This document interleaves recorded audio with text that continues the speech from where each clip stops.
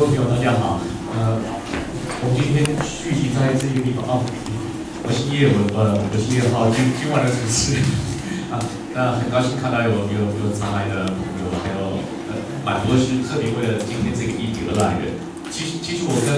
呃在座很多人一样，原本对五门楼是完全没有概念的，那也也是因为呃特地是为了今今天这场，所以我才去查了一下呃过往的历史。我们我们楼它是一九二五年盖的建筑物，那一九二五年，呃，到现在当然算是我我知道那是一栋呃很旧的建筑物，但是一栋旧的建筑物不见得就一定能够被当作是古迹，它一定有一些特殊的原因。那它是作为呃它是台北市市定的古迹，之所以它有这个历史意涵，是因为它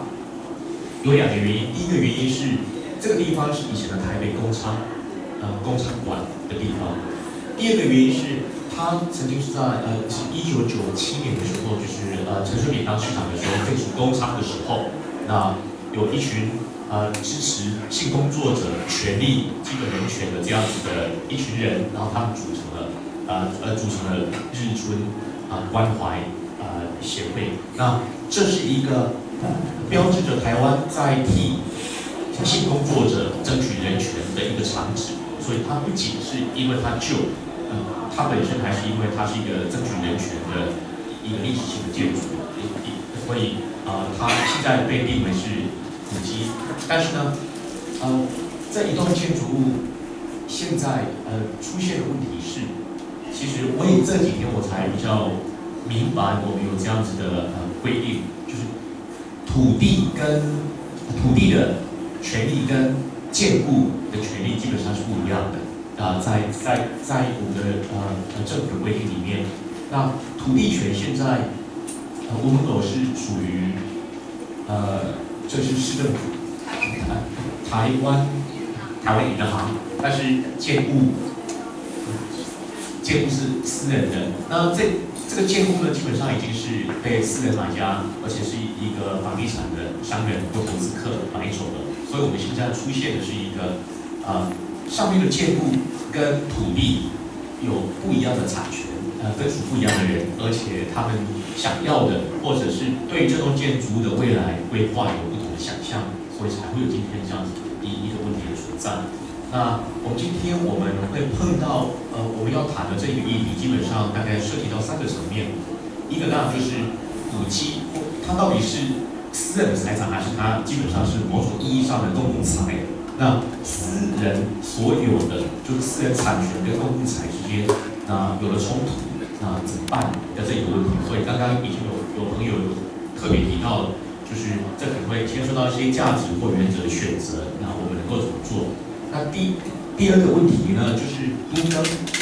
那都更基本上当然就是为了就是说呃，希望让城市能够。呃，更加的美化，或者是呃，往往是可能建筑是因为过于老旧，所以基于安全的缘故，所以我们希望它能够呃，能够就是打掉重新再盖。但是呢，古迹碰上都更，这两者之间也是有不同的价值的选项。那呃，我们今天我们会呃，针对这个议题，我们有很多很多的讨论。当然，那更重要的是。我们刚刚说的这样子一栋建筑，它基本上象征着有整个台北市过往的历史，以及我们希望它存或废，它涉及到是我们对一个城市的想象，以及历史要如何的维护，要怎么样去维护哪一部分的建筑来作为我们的历史记忆或集体记忆的象征力。那大概，那这也是呃我们都会呃仔细去讨论的东西。那我们今天呢，我们就是呃。按按照呃，我们很高兴请到了呃君主过来，但是呢，我们希望能够有多一点的互动，就是大家可能对这一栋建筑有相对比较不了解的，或者整个日出的历史啊，甚至呢，就是现在的性工作者他们的权益，还有如何争取跟市政府之间的公共权利之间的关系，那我们大概都可以来讨论。那君主等一下也。他也会从三个面向来告诉，呃，来分享他所知道的，就是从五楼的整个的历史，以及日出关怀学呃关怀协会，呃他过往以及现在他们所做的是什么。然后第二个部分才是这个古迹，古迹是否可以买卖作为公共财，那之间的价值原则如何选择的问题。然后最后呢，也会来跟我们大家来一起思考说，那如果没有意见，那这文化局做什么？对不对？台北市政府面对这样的议题的时候，那科批新政已经上来了，我们可不可以有一个新的方案？尤其是科批有一个习惯，就是说你要抗争可以，但你给我提一个方案。那我们也要共同来思考，就是那有有没有什么样子是一个非常可行的，呃，比较好，呃，两方都能够接受的一个方案。那这大概是我们今天所要讨论的所有的呃所有的呃主题跟目的。好，那我们把时间先交给呃君主，让他来给我们介绍这这整个日春的呃缘由。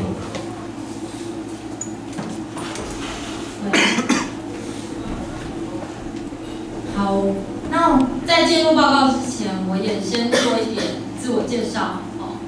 因为我刚刚听了台下介绍一圈，我发现虽然有很多人是泽武的常客哦，对这个议题认识不了解，但是也有很多人是专业工作者哦，在面对古迹遇上不跟这样的议题的时候，可能都比我专业很多。嗯，那我先介绍我自己，就是嗯，我其实是在一九九七年哦。陈水扁还在当台北市长的时候，那个时候大家几岁？还没出生。还没出生，好，最小的还没出生。OK，那时候我二十岁，啊，我大二。然后陈水扁当年其实是如日中天的政治明星，哦，就很像柯比现在的位置，因为当年他可是民进党里面有机会问鼎总统大位的第一人，所以他其实一当选。他也是推出了非常多阿北新政，好，他就是跟柯比很像，就是他，因为他是第一个干掉了国民党的首都市长，而且是将来很有机会问鼎总统大位的人，所以其实是在他当选之后，他也干了很多好事，哦，譬如说，如果我印象没错的话，当年台北市的公车专用道，哦，也是他一开始提出规划的，哦，然后包括很多户政事务所的。就是手续如何简便，如何便民，其实他他也提出了非常多的改革，嗯，但是在这些改革之后，他其实大概在他第二年还第三年的时候，他开始呃寄出一个政策，就是扫黄，嗯，就说我觉得当年的台北市其实是在一个上升中的台北市，啊，而且当年的性道德，我觉得其实是跟现在相比，我觉得也是在一个相对比较禁忌保守。跟也还在转型的年代，比方说我高中大升大学的时候，可能全台湾的第一个同性恋社团刚成立，嗯，那包括那个时候婚前性行为其实也都还是一个非常禁忌的话题，啊，处女情节其实也非常的多，呃，在我上大一大二的时候，何春蕊也才刚出版了他的《豪爽女人》，我讲这些背景是要讲说。当年为什么陈水扁他可以用扫黄来作为他的新政，而且还得到了很多台北市民的支持？啊，其实是在那个信道的污名也还很强的年代里面，哦，大家觉得哎，要做一个干净的台北市，把色情赶出去，好像是一个很在当年是很理所当然的政治正确。哦，也不只是陈水扁这么干，其实很多县市首长都用扫黄这件事情来表达自己的魄力。哦那可是就在这个扫黄的过程里面，国民党的议员出来咨询陈水扁说：“哎，你怎么可以一边扫黄，一边还发放合法的公娼许可证？好，公娼许可证当年叫妓女许可证。所以我们就看到国民党的议员就出来，就是咨询他说：，哎，你这样市长不是双重标准吗？哦，怎么可以一手扫黄？”一手还发一个合法的证证件，哦，让性工作者可以，让台北市有些性工作者是可以合法职业的。所以陈水扁就在这个脉络底下决定了，他也要废除合法的工娼。哦，那当年合法的工娼有一百二十八个人。哦，那我其实也是见到了这一群合法的工娼自己出来即使他们戴着花帽，哦，把自己的脸遮得密不透风，只剩下两个眼睛露出来，可是他们还是那样挺身而出的时候，我才知道说，哦，原来台北市还有合法的公娼，哦，那其实对我当时而言，内心也充满了非常多道德的冲突，啊，因为我自己当年的成长过程，其实也是，就是当年根本没有性工作者这个词，哦，就是所有的。那个面整个社会面对这一群妇女，态度其实是贬义的啊。台语就叫他们探假杂货，嗯，那中文可能就说他们是妓女或者是娼妓。其实性工作这个词，都还是工因为工娼抗争出来才开始，才开始，嗯，才因为他们的行动，哦，因为他们捍卫自己的性工作的这个身份。才让这个名词在台湾开始出现，哦，所以我说我的那个挣扎是，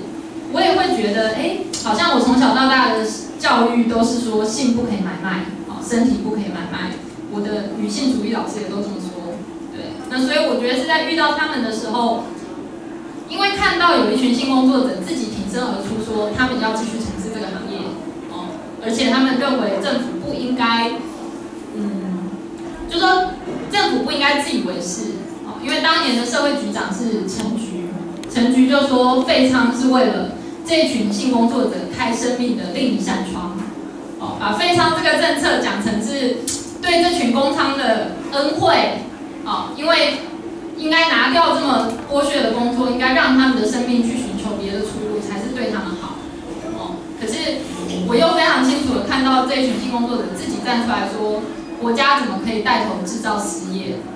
哦，国家怎么可以把过去合法让我从事的工作给拿掉？哦，所以就让我会冲突于说，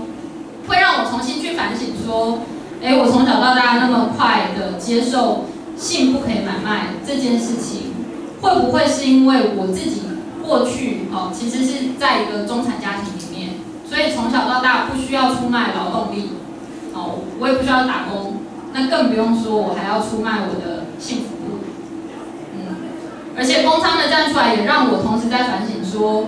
会不会也因为另一方面，女大学生其实是一个情欲资源很充足的人，哦，所以站在一个女大学生的位置上，我如果要找亲密关系，要交男朋友或交女朋友，其实也不不缺乏这样的对象，所以从来也不需要透过购买性服务，哦那可是工商，当他们站出来的时候，其实会同时带出来，会去工商馆嫖客是什么样的人？会去工商馆嫖客，其实很多是底层的劳动男性。哦，那这里面包括可能包括单亲爸爸，可能包括身心障碍者，可能包括外劳等等，很多我过去没有去想过他们的性欲该怎么办，他们的情绪资源该怎么办的人。所以我其实是。因为这这一场公摊抗争冲击了我，才让我去想说，如果我去当义工，我换了一个跟我过去不一样的社会位置，我会不会我自己在重新想性工作这个议题的时候，会不会不一样？嗯，所以后来就去当了义工，然后后来 呃日春协会成立，就留下来做工作人员，对，就一直待到了现在。所以好，刚才这个背景只是要讲说。刚才这个背景只是要讲说，一方面，嗯，我日春协会的成立，好，其实过去长期以来是在，呃，世界在工厂抗争之后，那我们也开始在面对说，台湾的性交易应该要除罪化，应该要合法化，应该要去污名，所以才成立了一个团体，好，那同时，文梦楼在这一场抗争里面，其实它有个很重要的位置是。它是工仓自救会的会馆，嗯，就是说，它不仅仅是一个工仓馆，不仅是一个合法的工仓馆，而且是工仓在抗争的时候，哦，就选了这个地方做自救会馆，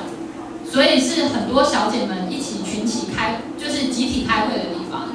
哦，所以它其实是当年反废娼运动的一个中心，一个基地，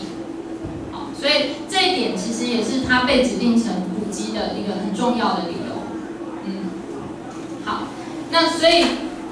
对，刚才叶老师已经帮我讲了，我今天的报告就会有三个部分啊。第一个部分，我还是会待会延续刚才的这个简介，也还是会再讲一下国蒙楼的历史跟日春运动的渊源。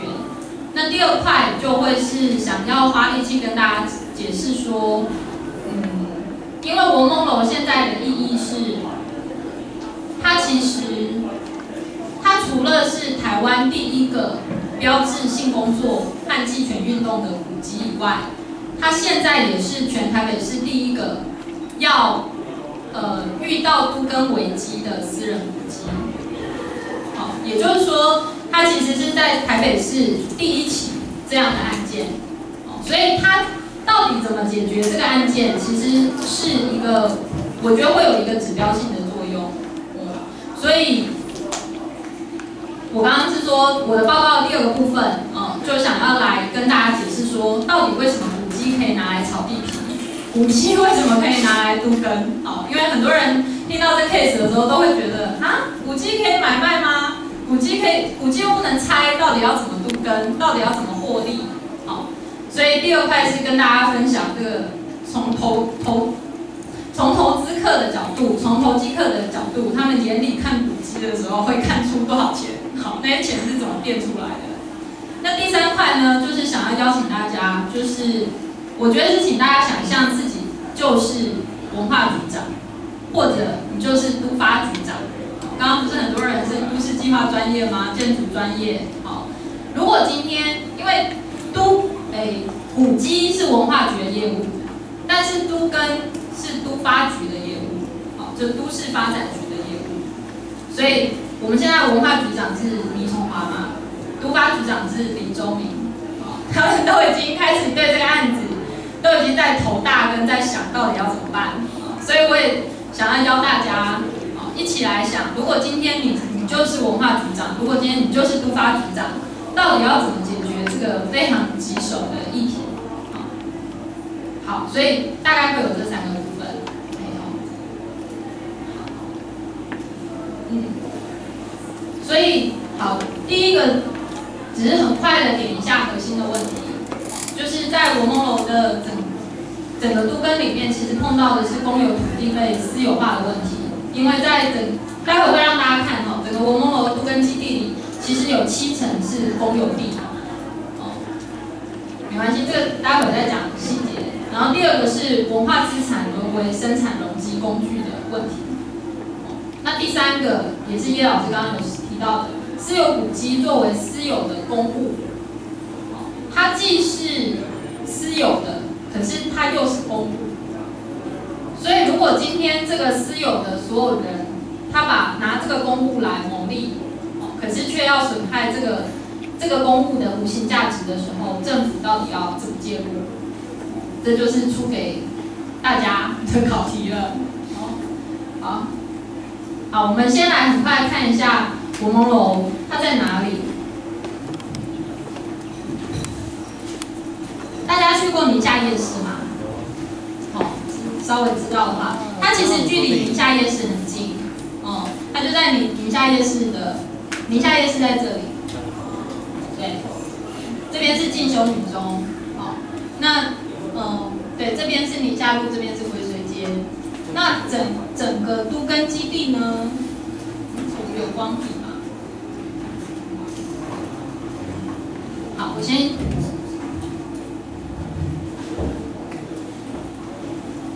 就是从这边开始，一直到这个转角，到这里，这很大的一个正方形，好，是呃文蒙楼的整个都根的基地，就是它在三呃在四年前，在二零一零年底的时候，已经有建商向东这边，大家可以看得出来，这边是一个就是矮矮小小的两三层楼的平房。哦，就是老社区哦，那但是它就是，但它面临的大马路，而且它其实是商业区的用地，所以它如果开发起来，哦，在台北市商业区可以盖的容积是比较比较高的，所以它如果开发起来，将来建商现在打算是把它开发成二十七层楼，所以大家可以想象，就是那个土地利益是还蛮大的。下一页。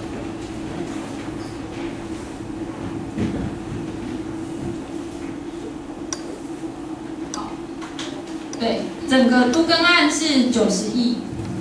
的建案，大概一千平土地，土地大概有一千平。那这一千平土地里面，大概有百分之七十是公有地，所以理论上，公有地作为最大的地主，其实是最有权利说，哎，我既然是最大的地主，那我站在政府的立场，我应该要换回什么？或者是最有权利站在一个主导者的立场说，哎，我我期望这个都更案长成什么样子？好，但是很可惜的是，在过去这三年来，我们完全没有看到，在前任至少在前任郝龙斌任内，我们完全没有看到市政府要站在这个立场来主导这个都更案的进行。下一张。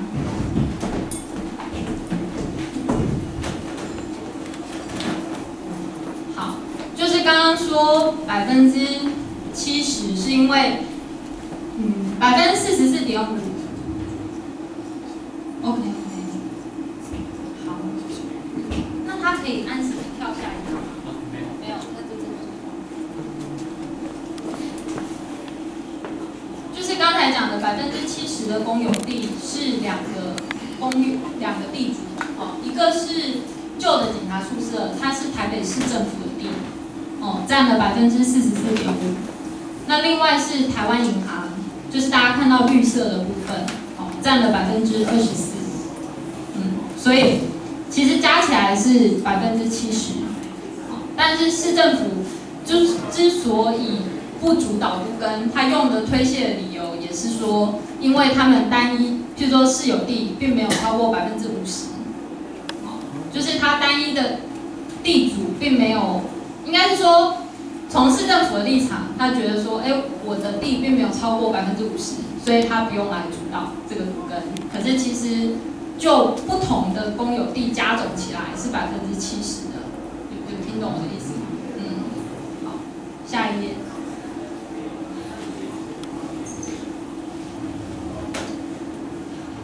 好，这一条街就是，嗯。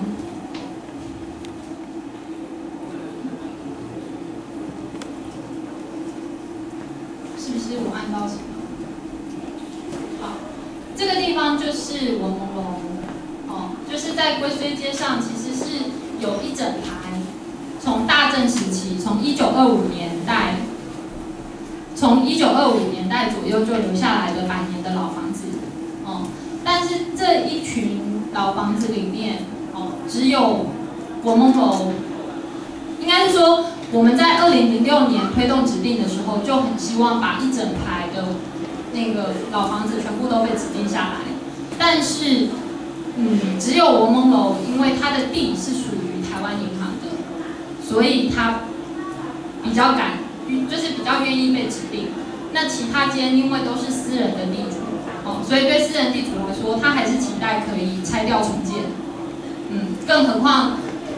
更何况罗蒙楼，因为这一带我觉得仓管毕竟是有一个信道德的污名，哦，所以对很多地主来说，并没有很希望这些老房子真的被留下来，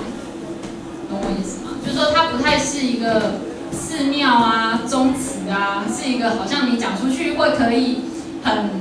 很大方，然后很很正面的资产。对，那仓管这件事情，我觉得在当地它还是有一些污名存在哦。所以，即使有很多老居民过去他们的工作也和这一行息息相关，哦，有很多老，比如说文朦楼隔壁其实是开银楼，那在隔壁其实是开药房，其实过去都跟这个行业息息相关。但是当他们考虑到说，哎，到底要不要把房子真的永久这样留下来的时候，还是会很犹豫跟顾虑。哦，那那个顾虑里面，一个是房地产的利益，嗯，就他们还是觉得普遍还是觉得拆掉重建是比较。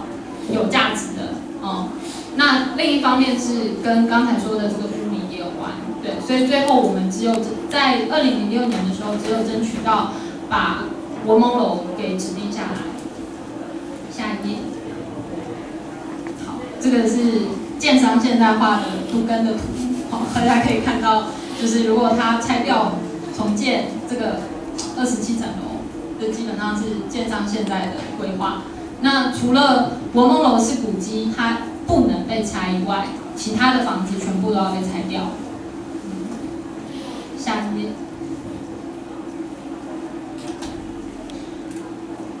这就是我刚刚说的，就是文梦楼它其实从什么时候开始被注意到？其实它是一九二五年呃新建，那一九五六年开始，就是那时候国民政府来台湾的时候，一开始其实也打算就是禁娼哦，因为国民党当然也觉得这个行业违反善良风俗，不应该让它存在。嗯，可是他们很快的就发现，几十万大军都跟着从大陆一起撤退过来的时候，其实表示台湾这个岛上一下多了几十万大军的生理需求要解决。如果你们看过《军中乐园》，哦，就可以想象，就是在那个年代里面，其实你很难处理一下多了几十万大军的时候，到底他们的出口怎么办？所以那时候很有趣哦，反反而是台北市带头说我要工厂，我要有一个合法的工商的管理制度。那主要目的其实是在控管性病，控管公共卫生。对，那但是文梦楼真的被注意到，其实是因为一九九七年我刚刚说的陈水扁的废娼带动的整个反废娼的抗争。下一点。那我觉得文某某的存在有一个很大的好处，就是说，嗯，我记得当我就是因为工商抗争后来成功了，所以他们争取到缓费两年，很难争取到永久的合法化，但是他们争取到呃缓费，所以在缓费两年的时候，这张照片其实是这里面有我，我坐这里，好，就是当年这张也是在文梦楼拍的。那其实我觉得进去的时候，对我来讲很大的一个冲击，就是说，哎，我发现小姐跟客人的互动，哦，其实跟我原来这个自以为对是女性主义者 想象的差很多，哦，就是说，我刚刚不是讲吗？就是那个年代很多的论述都还是会觉得啊，性交易是一种剥削，啊，性交易是一种，就是性性是不应该被出卖的，哦，所以我想象中也都觉得说，哎。好像性交易这个行业就是客人来有钱的来泄欲哦，然后小姐就变成是一个泄欲的工具。但是其实我坐在这个客厅里的时候呢，就是跟小姐们一坐在一起的时候，才发现，哎，其实，在合法的工餐馆里面，不，嗯，不会只发生客人打枪小姐的事，也会发生小姐打枪客人的事。哦，比方说，我有一次坐在这个客厅里面。就明明白白的看到说，有客人走到门口，小姐就跟他说：“你不用进来了。”你们猜为什么？想想看，什么样的客人是小姐最不想接的客人？身上有异味。身上有异味。他那时候走到门口，还没有到有异味，他看起来还算干净，应该这样说。酒醉，哎，答对了。好，就是小姐最讨厌的客人，Number One 就是酒醉的客人，就是因为如果喝太醉了，哦，会发生消费纠纷。因为在工餐馆里面呢，他们其实十五分钟是一节，就是以十五分钟为计费单位，十五分钟就要一千块，所以其实是一个还蛮春宵一刻值千金哦，就是一个很很很宝贵的一刻的。黄金时间，所以如果十五分钟到了，哦，如如果是酒醉的客人，很容易十五分钟到了，如果还没有做出来，就会发生消费纠纷，他可能就不想付钱之类的。所以那个时候客人其实是有一点点踉跄，然后他走到门口的时候，小姐就跟他说：“你不用进来了。”然后我就想说：“哦，就是在合法店里面，小姐跟客人的互动还是很平等，或者是说某种程度保障了他们可以性自主的空间。”下一页。对，那这张照片呢，在中间的就是，呃，当年工商自救会的时候，自救会主自救会长关秀琴，他是一百多个工厂里面唯一一个，就是完全不蒙完全不蒙面，完全正脸示人。然后你从这张照片还是可以看得出来，他对性的一种坦然跟自在。所以我觉得整个抗争期间到以以至于抗争结束以后到后来，就是小姐们的现身说法，其实吸引了很多。我觉得不只是让很多年轻的少男少女们，好有有机会面对性这件事情，可以更去正视它。那同时也是让很多在社会上被污名的族群，比方说同志啊、跨性别啊，哦，会被吸引，因为就会觉得说，哎，这些性工作者们，他们自己面对这个污名都愿意坦然而出的这个力量是很强悍的。下一页。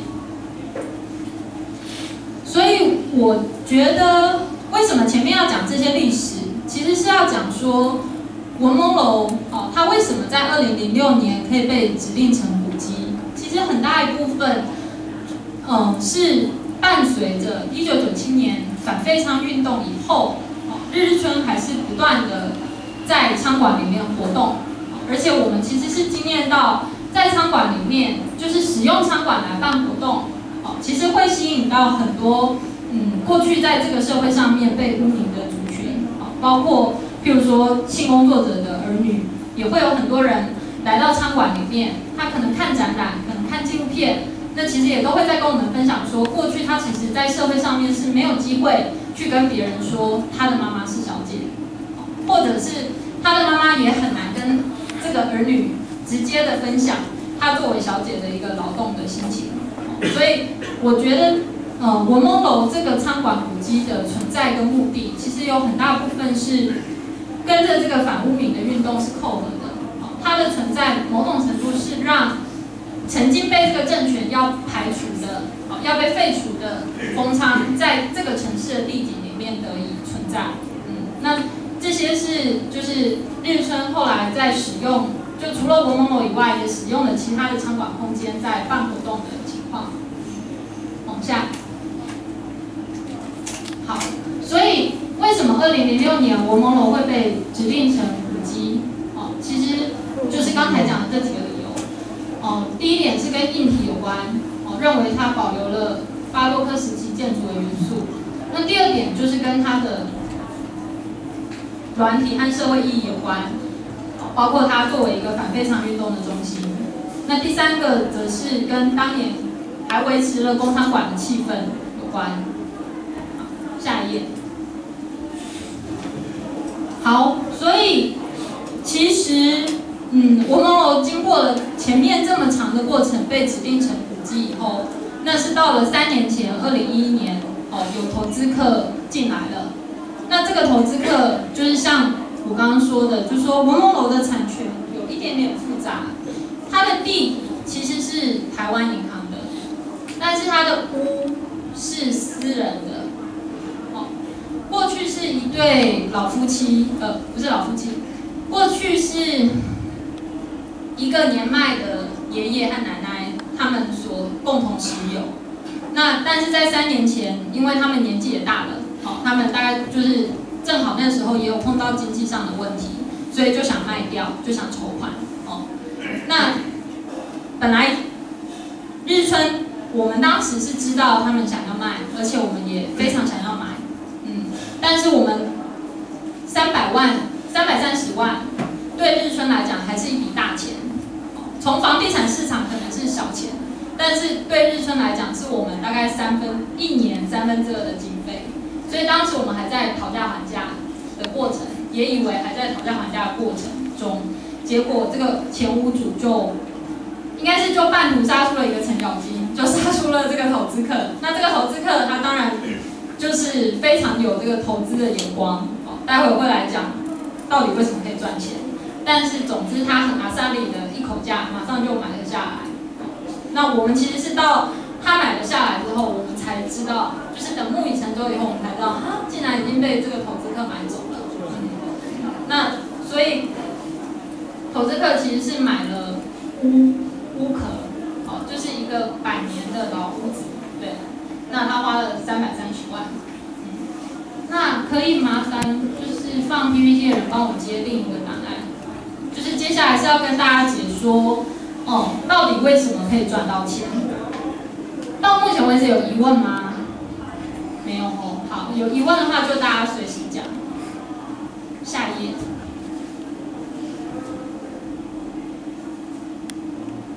好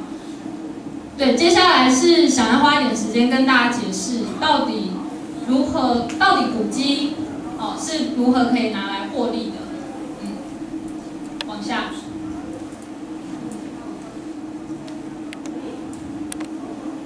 好，容积率是什么？可以吃吗？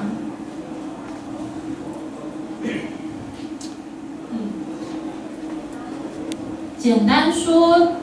好，很多人会有一个疑问，是说古鸡为什么可以参与陆耕？因为古鸡又不能够拆掉，对不对？它不能够拆掉，不能够直接在限定盖起新大楼。为什么它可以参与复耕？哦，那简单的说，其实是每一块土地哦都有依照法令，他们可以盖的容积率。哦，那即使它可以盖的这个这个容积，它没有办法在古迹的现地上面盖出来，它也可以移到别的地方盖出来。简单说是这个概念。但是我们可以细一点看，就是以国门楼所在的这个地方来看，国门楼的容积率，哦，因为它是商业商业区商山的用地，所以它容积率是百分之五百六十。那它有二十六平建地，所以它可以有的合法的容积其实是一百四十五平。嗯，那如果以市价来想的话，你稍微用市价来想，哦，在大同区这个地方，现在新的屋子大概一平可以卖到八十万。你如果用差不多一百五十平，每一平用八十万来想，差不多就是一亿两千万。哦，所以其实小小一块地就可以盖出这么多市价这么高的房子。那但是我刚刚说了，呃，这些发展的权利，哦，基本上是伴随土地而来。但是刚才说的三年前的那个买主，哦，他叫林丽萍，那他买下这个屋子的时候，他只是买下了屋壳，其实没有地。所以刚才讲的这个一亿两千万呢，基本上是地主是台湾银行的份，但是因为他拥有了屋壳，所以他也可以取得其中大概百分之十五到二十五的份。哦，所以这是最基础的概念，就是说，因为每一个地它本来就有它可以发展的容积。哦，那今天虽然今天虽然因为它是古迹，它不能在现地盖出来，但是它可以发展的这些容积是还是可以拿到别的地方去盖出来的。我们看下一页。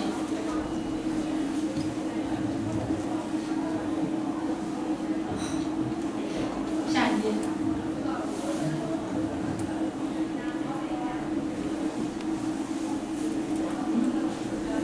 好。因为这一份 PowerPoint 比较是为了如何赚钱做的非常仔细的抛抛点但是我觉得待会我们就是我觉得今天我们可以先讲一个概念，哦，也许不用讲到非常非常仔细的每一个数字，嗯，但是我觉得是让大家带着这个概念去思考，哦，就是这个投机客他买了容积，他可以怎么获利？他有两种方式可以获利，哦，第一种就是第一种就是容积移转。哦就是我刚刚说的，其实是当年政府为了推动那个，呃，不是政府，民间团体为了推动迪化街的保存，就是当时也是想要把一整条老街都保存下来。所以你可以想象，就对地主来讲，如果我保存了一整条街的古迹，可是我完全不能盖新大楼，那地主一定是群起反对的。嗯，所以容积移转这个制度，我觉得它一开始不是一件坏事，哦，它只是。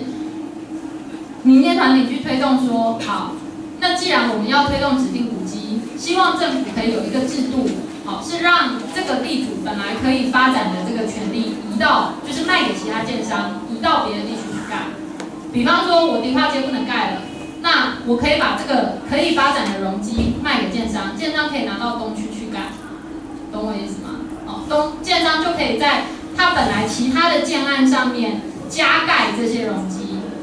因为其实每一个地区都有它被规定，就是可以盖多少的容积的上限。可是，一旦容积可以买卖的话，建商就可以在别的地方把它盖出来。哦，这样的话对地主来说就不吃亏。哦，所以这个是容积移转的概念。那但是第二个，我觉得现在可怕的是说，台北，嗯，从台湾开始有了都更条例以后，它还有第二种方法，就是说我这个容积，我不用拿到别的地方去盖，因为像文蒙楼，它本身就要被都更嘛，好，就是文蒙楼这个这个建物本身不会被拆掉，但是反正后面要盖新大楼了，刚刚不是说吗？它要盖二十七层楼，好，所以。我文蒙楼没有盖完的这个容积，可以拿到后面这个都根基地里面，就是拿到这个二十七楼里面去把它盖出来。那这样会有什么危险呢？好，我们待会往下看。好，这就是我刚刚说的容积转，其实是古迹获利的特殊计。好，就是它本来就是为了补偿这个地主的开发权没有用完，所以它。就是可以卖到别的地方，往下。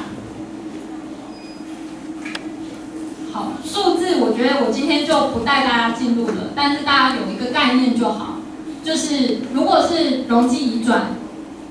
容积移转会比参与都跟它的获利低一点，因为如果我今天只是容积移转，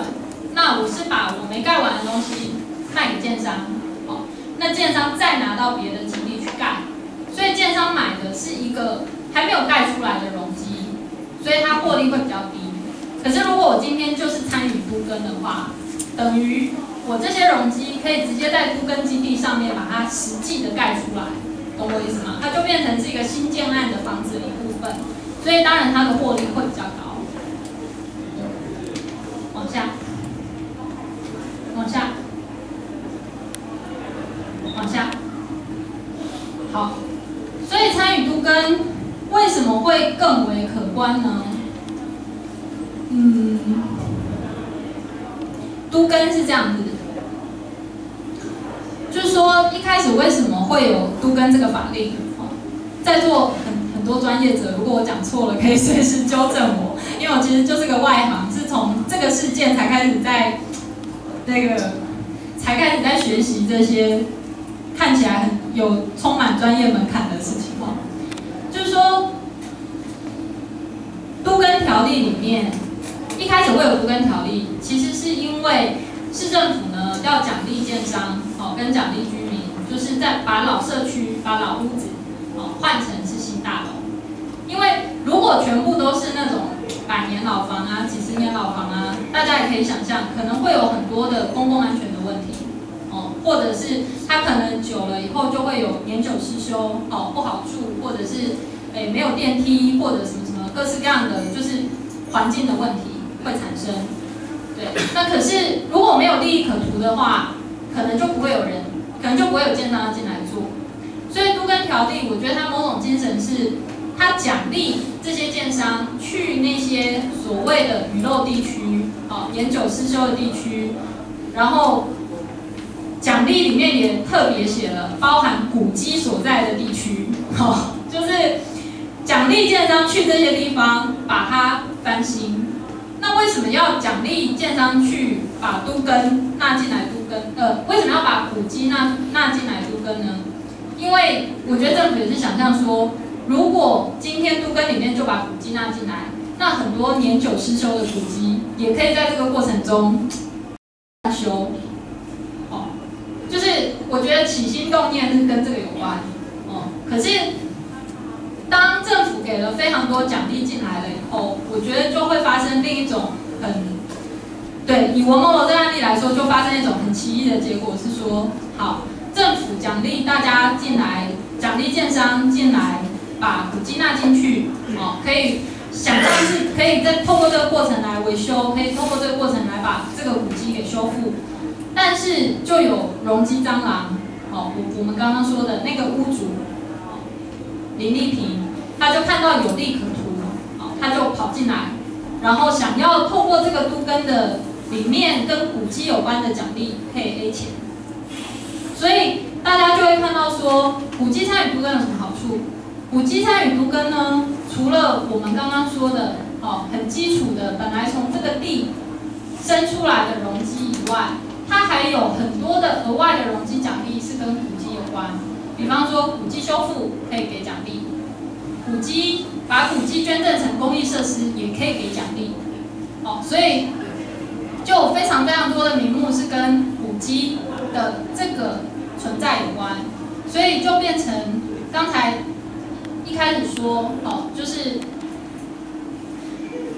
我们刚刚一开始是说，如果是基础的容积，大概是一百五十平左右，换算成市价可能一亿多。那他参与都更的时候，就已经膨胀到两亿了，然后再来是跟古迹额外的容积加起来也有两亿，所以这个小小的文蒙楼换出来的地皮价值就变成是四亿。嗯，往下，再往下。好，这四亿怎么分？这四亿里面，当然还是刚才说的地主，哦，其实最主要是地主的发展权利，所以台英地主可以分到很多钱。那在这过程中，建商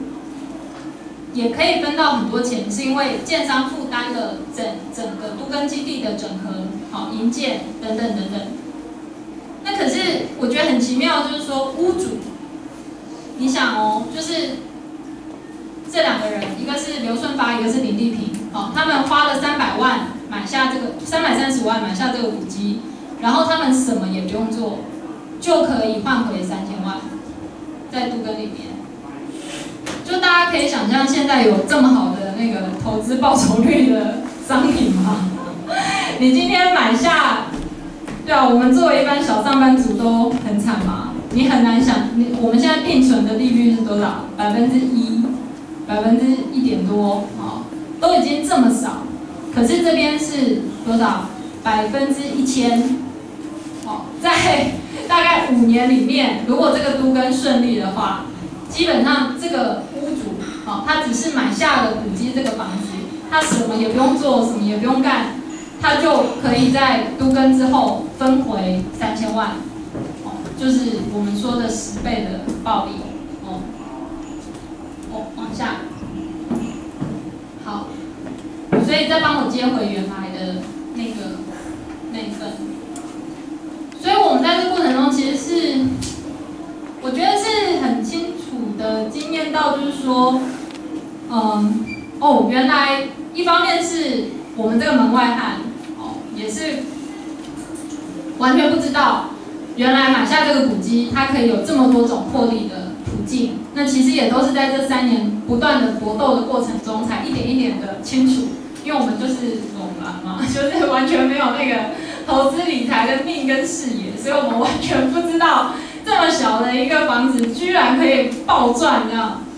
那可是我觉得另一个让人很痛心的是说，你们刚刚看到说，哎，它其实可以这样暴赚，哦，除了除了是它这个地本来可以有的发展权以外，还包括了都跟里面各式各样跟古迹有关的奖励，哦。那可是那这个古迹，就像我刚刚说的，啊，就是他可以赚那么多钱，是为什么？是过去十七年前工商。宁愿戴着工商帽，哦，上街被人家吐口水，都还要这样走出去，为了自己的权益抗争，才换来这个古迹。可是这个买主，哦，林立平，他买下这个古迹以后的第一件事，就是把日村赶走。就是他买下这古迹以后，做第一件事就是跟我们说，以后不租给你们了，因为我们的租约是跟前任屋主定的。那这个新的屋主一买下来。他就说：“哎，再见，好，以后这个屋子不需要你们了。”所以对我来讲，我当然会觉得很想骂脏话哦，就是我会觉得我过去这十几年的青春，老娘的青春是在帮你赚钱吗？哦，我过去这十七年在这边，然后帮你从三百万换成三千万，我是怎样？我我每年都在帮你赚钱，好像我们所有就是。这里面当然不只是我哦，我的意思是说，这个古迹它本来是一个大家的公共财，哦，可是只因为今天这个投机客他有钱，他买下了这个地方，他还可以拿这个公共财去换钱，可是他一边换钱的同时，他一边是对原来的这个基源文化是弃若敝屣，他是巴不得把我们扫地出门，他是完全一个门外汉，因为这个地。因为买下来的这个屋主他自己就是一个容积买卖商。好，往下。哎，好，待会也也许会看到，就是有一个容积买卖的网，就是待会会给大家看它的容积买卖的网站哦，就是他自己是一个容积买卖商，他自己是一个房地产开发商，哦，可是他从来就是没有要尊重这个地方的意思，哦，所以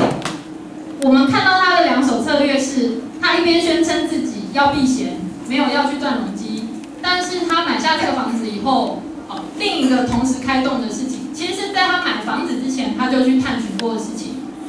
就是他要跟台银买地，懂我意思吗？因为刚刚不是说吗？很多发展权都是地主的权利，所以如果他真的有顺利买到地，他其实刚才那个四亿里面，他绝对可以赚上亿的钱。所以其实他其实他买下这个屋，是因为。这个屋主会有买台银地的优先的承购权，而台湾银行的地又会在都更里面释出，因为我们台湾的都更条例是规定说，只要是公有地，一律要配合都更，而且台湾银行的政策的确就是会在都更里面把地卖掉，哦，所以其实这个屋主在二零一一年买下文蒙楼以后。台银是在二零一二的年底就卖了地，可是因为当时就是日春已经出来抗议了，哦，所以台银它虽然卖掉了这个基地里面大部分土地，但是文蒙楼这一块台银后来没有卖，哦，就是因为懂我这个意思吗？就是这个屋主他是想要买地的，但是从日春的角度，我们当时当然会觉得说。这样太过分了。如果这个屋主他又可以顺利的买到地的话，那将来他就荷包赚饱饱就好啊，就没有人可以再钳制到他了。那与其这样，我们当然希望古迹的土地还是持有在公家手上，因为这个状况很微妙嘛。地是在公家手上，屋是在私人手上。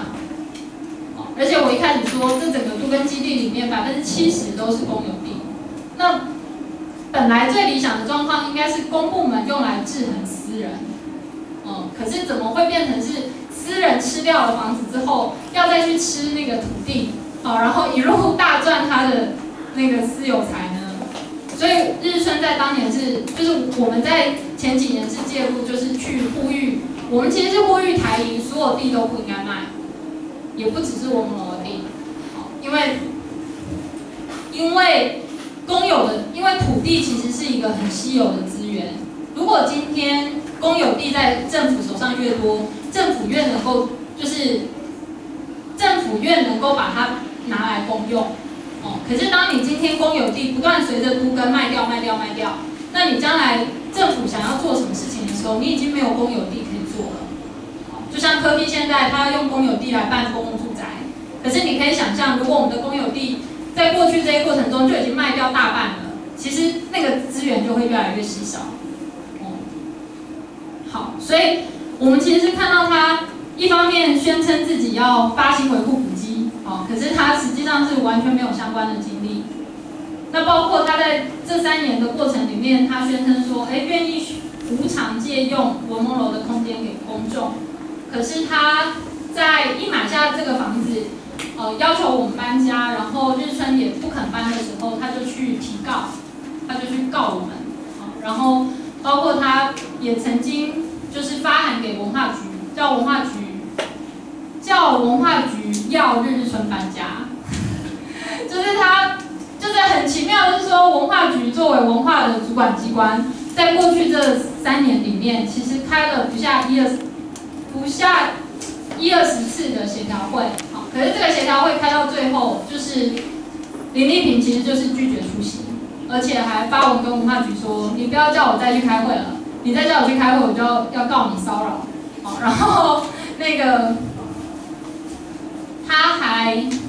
我刚刚要说什么？哦，而且他这三年怎么说呢？就是我觉得他一开始的时候是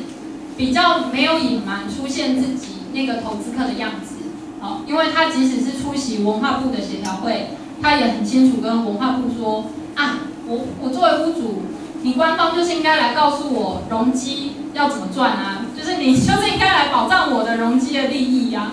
那你要问我古迹怎么维护，我今天不想要回答这个，就是他一开始都还会很清楚的出现他的这个面目，但是因为这三年来日村不断打仗嘛，所以打打到最后，我觉得他现在已经学乖了，他已经越来越会使出像我刚刚说的两手策略，就是他越来越会宣称说，我我当初就是发心要维护古迹，我才来买的，哦，就是所以呢，我是愿意尽我这个纳税义务人的这个义义务，好、我愿意自己提拨钱来修它，愿意自己提拨钱来干嘛干嘛。但是总之讲到最后就是，懂我意思吗？就是他现在为了不要让日村继续经营这个地方，所以他自己也越来越演的，好像他就是要维护这个古迹的，嗯，就是越来越会装了。所以大家可以想想看，各位文化局长、各位督发局长，如果你们是局长，你们怎么办？往下。好，这个是他的容积买卖的网站，就是他现在已经把这个网站撤掉了，但是一开始看到这个网站就很清楚，他买卖的容积也都是上亿的，他名下不知道有多少房地产。往下，往下，嗯，再下一页。好，所以这边就已经快要接近尾声，就让大家知道一下，到底在这整个过程里面，如果今天是文化局，哦，那到底可以怎么办？那一个跟古迹购买相关的法条是在文资法第二十八条，它规定的是古迹跟它所定着的土地所有权移转前，应该事先通知主管机关，其属私有者除继承外，主管机关有依同样条件优先购买之权。意思就是说，文梦楼当初在买卖的时候是要通知文化局的，文化局有优先购买权。事实上，这件事有没有发生？有发生，就是文化局在呃文梦楼在买卖的时候，的确有通知文化局，但是文化局有没有去审议考虑优先购买？当然是没有。哦，文化局完全没有去审核这个买主到底是何方神圣，是什么角色，也没有在事前的时候去查说这个人到底有没有心要维护这个古迹，他打算怎么维护这个古迹。所以当初的购买的时候，其实就充满了漏洞。下一页，嗯，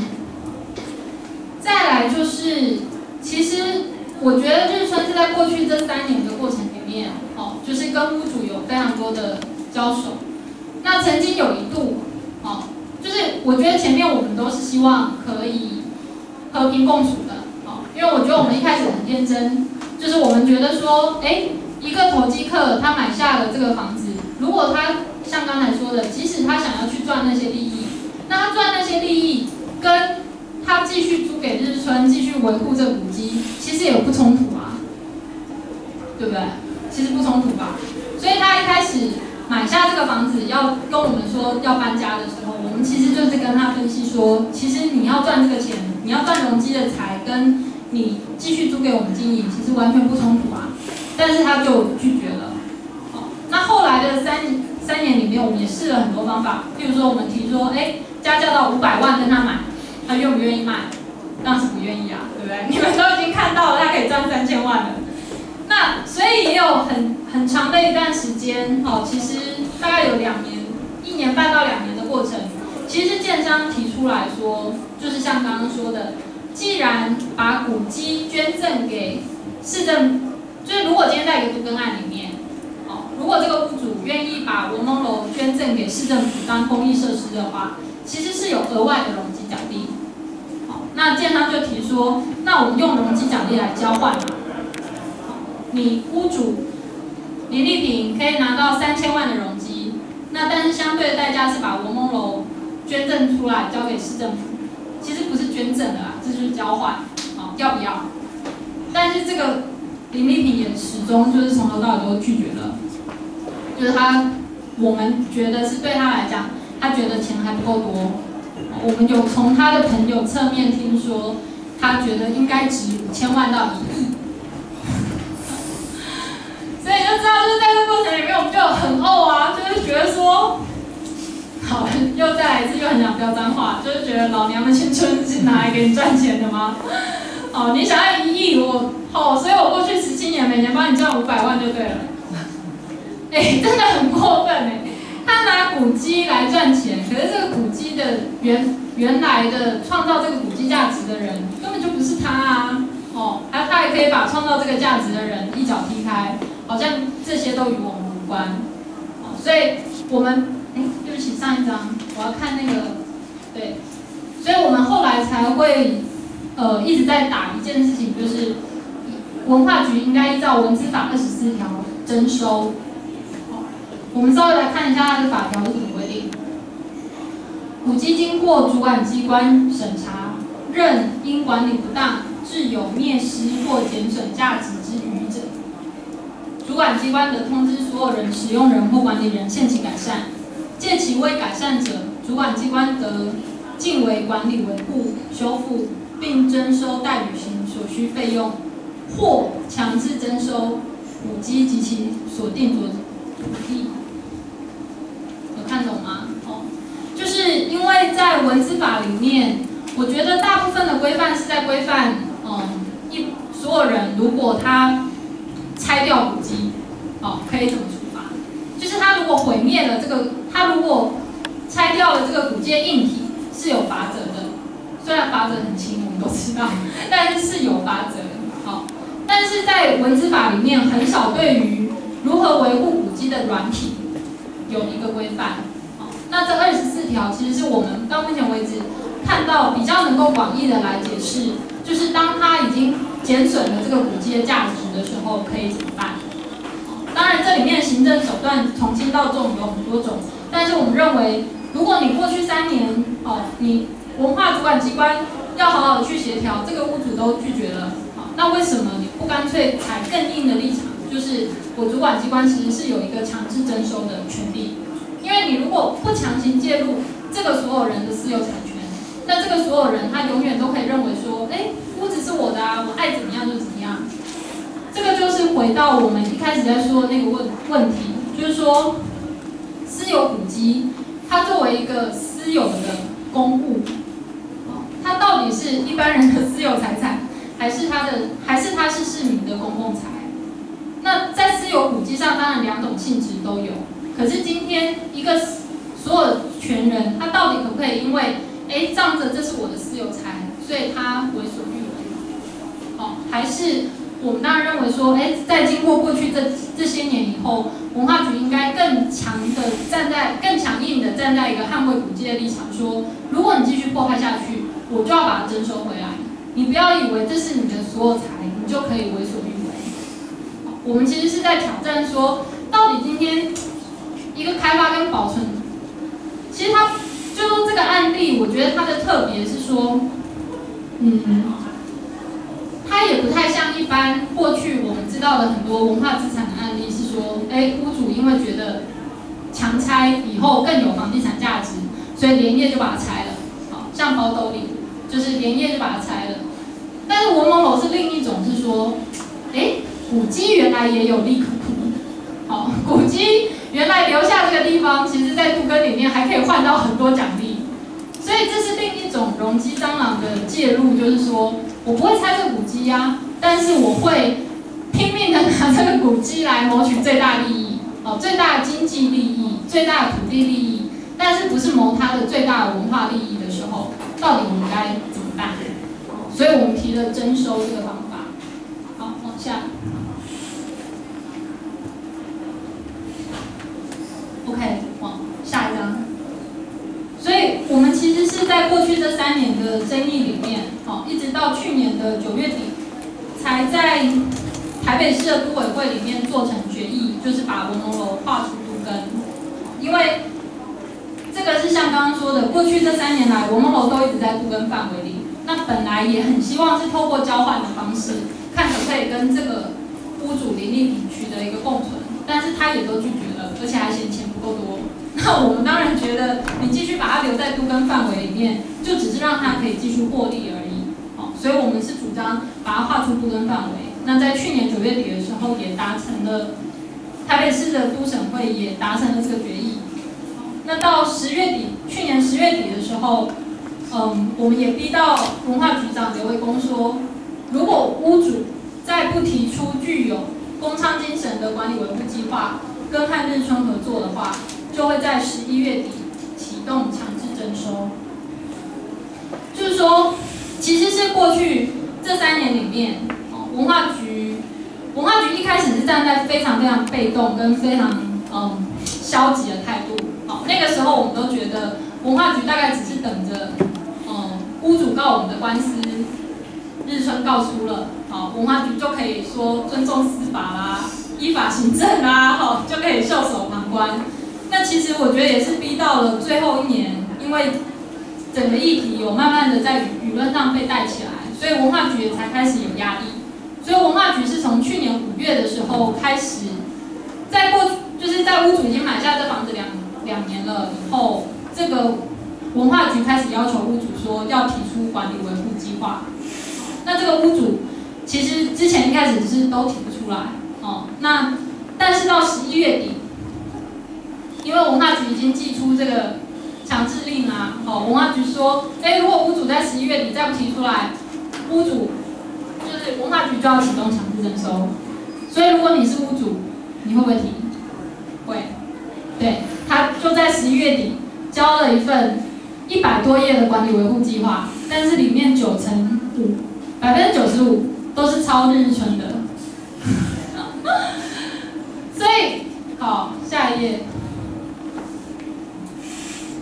所以他这一份一百多页的计划是在上礼拜，哦，在一月六号的时候进入了文资会议来审查，嗯，可是我们其实从日算角度，我们其实在过去这一年里面也一再跟文化局说，我们根本就认为不应该用管理维护计划来作为一个标准，因为我们觉得计划写的再好，就是作文比赛。你们知道吗？这个屋主，哦，他因为他自己写不出来，所以他现在，他一月六号的时候有公开在文化局说，他已经开价开到五百万，去找写手来帮他写管理维护计划。你不觉得很好笑吗？他花了三百三十万买了这个房子，却要花五百万找写手来帮他写这个管理维护计划。你们觉得他可以赚到多少钱？你懂我意思吗？他买这个房子不过三百万哦，可是他为现在为了捍卫这个私有财，他要花他已经花了五百万找写手，所以我们之前其实一直在跟文化局阿 Q 的一件事情是说，我们觉得重点不是在计划的内容本身，因为计划就是一个作文比赛，他只要找到一个研究生，找到一个博士生，随便都可以掰出一本很像样的、很人模人样的报告嘛，对不对？重点是他过去这三年的所作所为，哦，就是我们刚刚说的他的很多的两手策略，一边宣称自己是发行维护古迹，可是一边根本就就是希望把日村赶走，跟不要让工商阿姨继续在里面导览跟说故事。重点是他的这个行为本身，我们觉得就是在减损这个文化资产的价值，而不是在他写出来的报告是好是坏是几分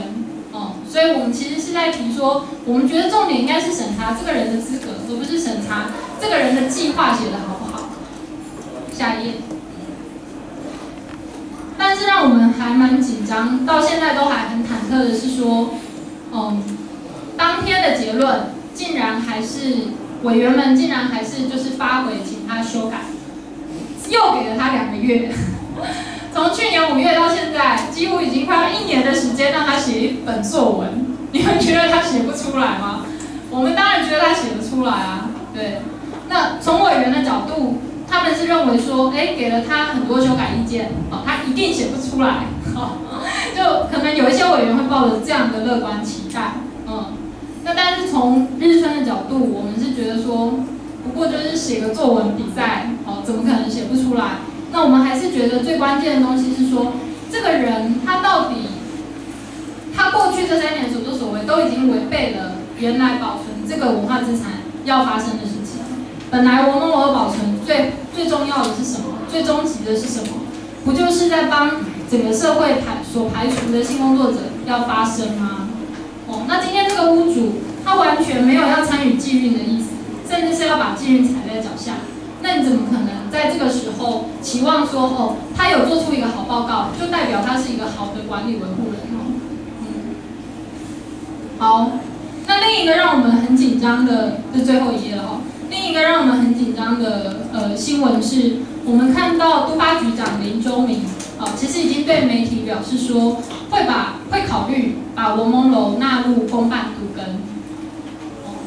也就是说，文蒙楼过去经过了三年的争议，好不容易我们去年才把它划出都跟，哦，接下来又要把它纳入公办都跟，所以我们其实是会紧张的，是说。为什么我们要提先征收再公办都跟？因为如果今天哦政府还是没有一个就是要把文蒙楼收归公有的这个立场的话，那今天即使是进入了公办都跟，我们也可以想象又是一场一模一样的以利诱之的游戏。好，这个投机客他因为有了非常长远的投资理财的眼光，所以他绑架了一个非常值钱的文蒙楼。那今天即使是公办都跟政府是不是也会让他继续讨价还价跟待价而沽呢？好，我们目前因为没有听到柯市府对于公办都跟有更多的他们打算怎么做的做法，所以目前我们当然还是很忧虑，但是从我们角度来说，我们觉得最应该问的是说，一个是市政府到底有没有同意要把文蒙楼收归公有，第二个是说。政府是不是同意不应该借由都跟好来让这个投机客和建商获得容积的超额的利益？那第三个才是文蒙楼以外，哦，其实总体的街区来说，就总体的街区来说，我觉得政府现在愿意公办都跟，其实可能是件好事，但是也很难说。我说可能是件好事，是因为我刚刚说了，它一开始其实就有百分之七十的公有地。所以，如果今天地主愿意站在，就是公部门愿意站在我是最大地主的立场来重新想这整条、这整个街区该怎么用，包括公有地将来要换回什么，包括整条我刚刚说一整条街的百年的老房子，如果都可以借由公办都跟被保存下来，我觉得会是好的方向。可是政府是不是会真的这么搞？没有人知道。哦，那这也是我们到目前为止就是完全没有看到的部分。好，好，先开灯好了，我们就就是，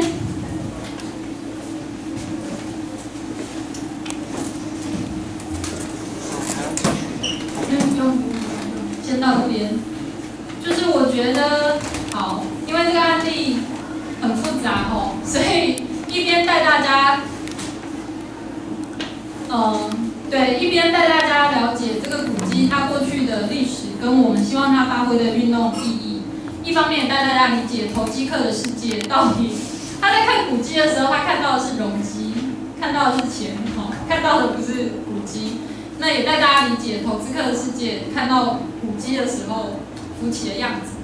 那最后，对啊，就是很希望，我觉得讲到这边也够复杂了，就是想听听各位局长们，好，如果你们今天是文化局长，是突发局长。的时候，你会怎么想要解决这个案例？你会想要怎么解决这个问题？因为他现在毕竟就还是一个现在进行式，而且是的确三年多了，从郝龙斌一直到柯世那到底会不会有一个不一样的？我觉得这里有很多可以搞成不一样的机会，但是，但是明天至少从明天团的立场，我们目前还没有被纳入这个公办路根的讨论里面。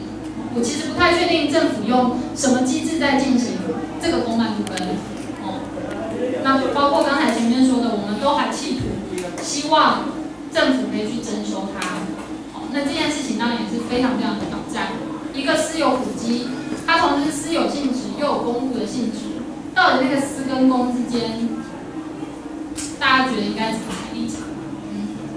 好，今天就先讲到这边，然后我想。就比较想要听听大家在想什么。好，我们先谢谢谢谢君主，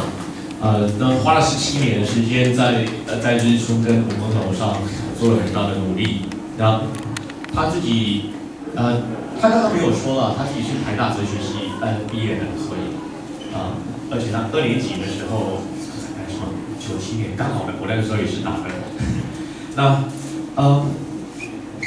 这里呢，呃，就是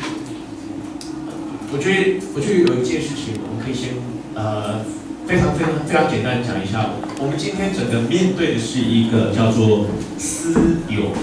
私有古迹啊。那私有古迹，我刚刚问过，我刚刚问过呃君主呢，就是在台湾是有百分之三十，百分之三十是有这样的私有的古迹。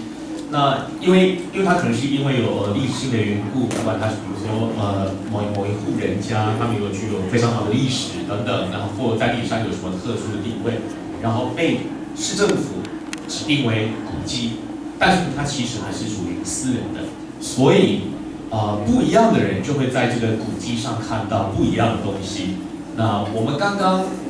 一面倒的全部听到的是呃。君主告诉我们的就是，他从身为一个呃禁运参与者，他看到朦胧的时候，他看到是应该要维护下来的一些啊、这种软体的历史上的这一类的资产，但是呢，投资客他可能直接看到的是一个非常大的钱，他看到哦这是几千万，那我们也非常谢谢呃。那君主呢，今天来告诉我们有这么好的投资的方法。尤其呢，我我我们也可以，不管我们用集资的方式，我们可以来购买，或者是呃，我们也知道说五百万有人在找写手啊，然后我们有那么多的学生，有有五百万，这个机会其实大家凑一下，应该应该是可以写不错的作文出来。但是呢，一一样，我们我们在泽五呢，我们是很 gay 掰的一个团体，呃，我们我们我们我们不能够让故事就这样子一面倒，所以啊、就比如说呃，我们我们要假装很客观的在呃林丽萍没有在场的状况底下，如果有人愿意帮他讲话啊，不管你你要从投资客的立场啊来说话，或者是都更者的立场来说话，那其实也也都可以。那我们现在我们先开放呃提问，我们先呃开放三三个提问好了，就是。你可以从各种不同立场来来问一下君主，好吗？OK，第一位。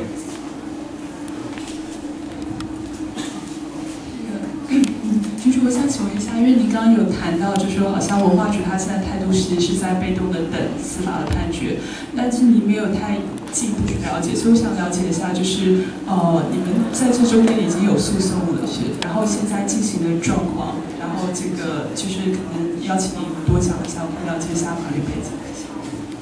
OK，目前的诉讼状况，第一个问题，第二，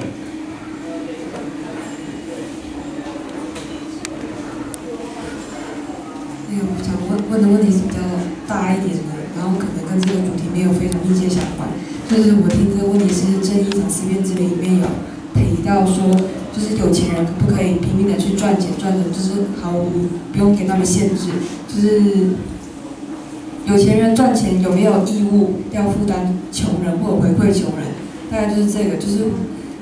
这个议题是比较大的。然后如果要切入这个的话，就是那个地屋主他拼命的赚钱，然后贪婪是几乎是没有限度的感觉。虽然这样讲好好狠，可是就是他到底有没有义务要去负担这个古迹维护？这是我想问。你自己觉得呢？你自己听到目前为止你的看法，你可以想一想。其实跟我看法不一样都没有关系哦，我是真的很希望大家可以尽量站在不同的角度来想。我的看法，我觉得还是需要哎，因为毕竟有些人他，呃，可能天他没有办法去掌握自己的命运是什么，然后他就没有得到某一些的资产，就是他的立场、天生条件就已经站在不一样的呃不好的起起跑点上面，那你有没有义务让他有身为人的权利跟价值？然后政府可能介入给他资源，有没有这个？诶，这个叫该怎么讲？我不太会形容，就是有没有这个义务去帮助穷人？我觉得是要思考，就是人人活，就是人是不是有更高的价值在这样子？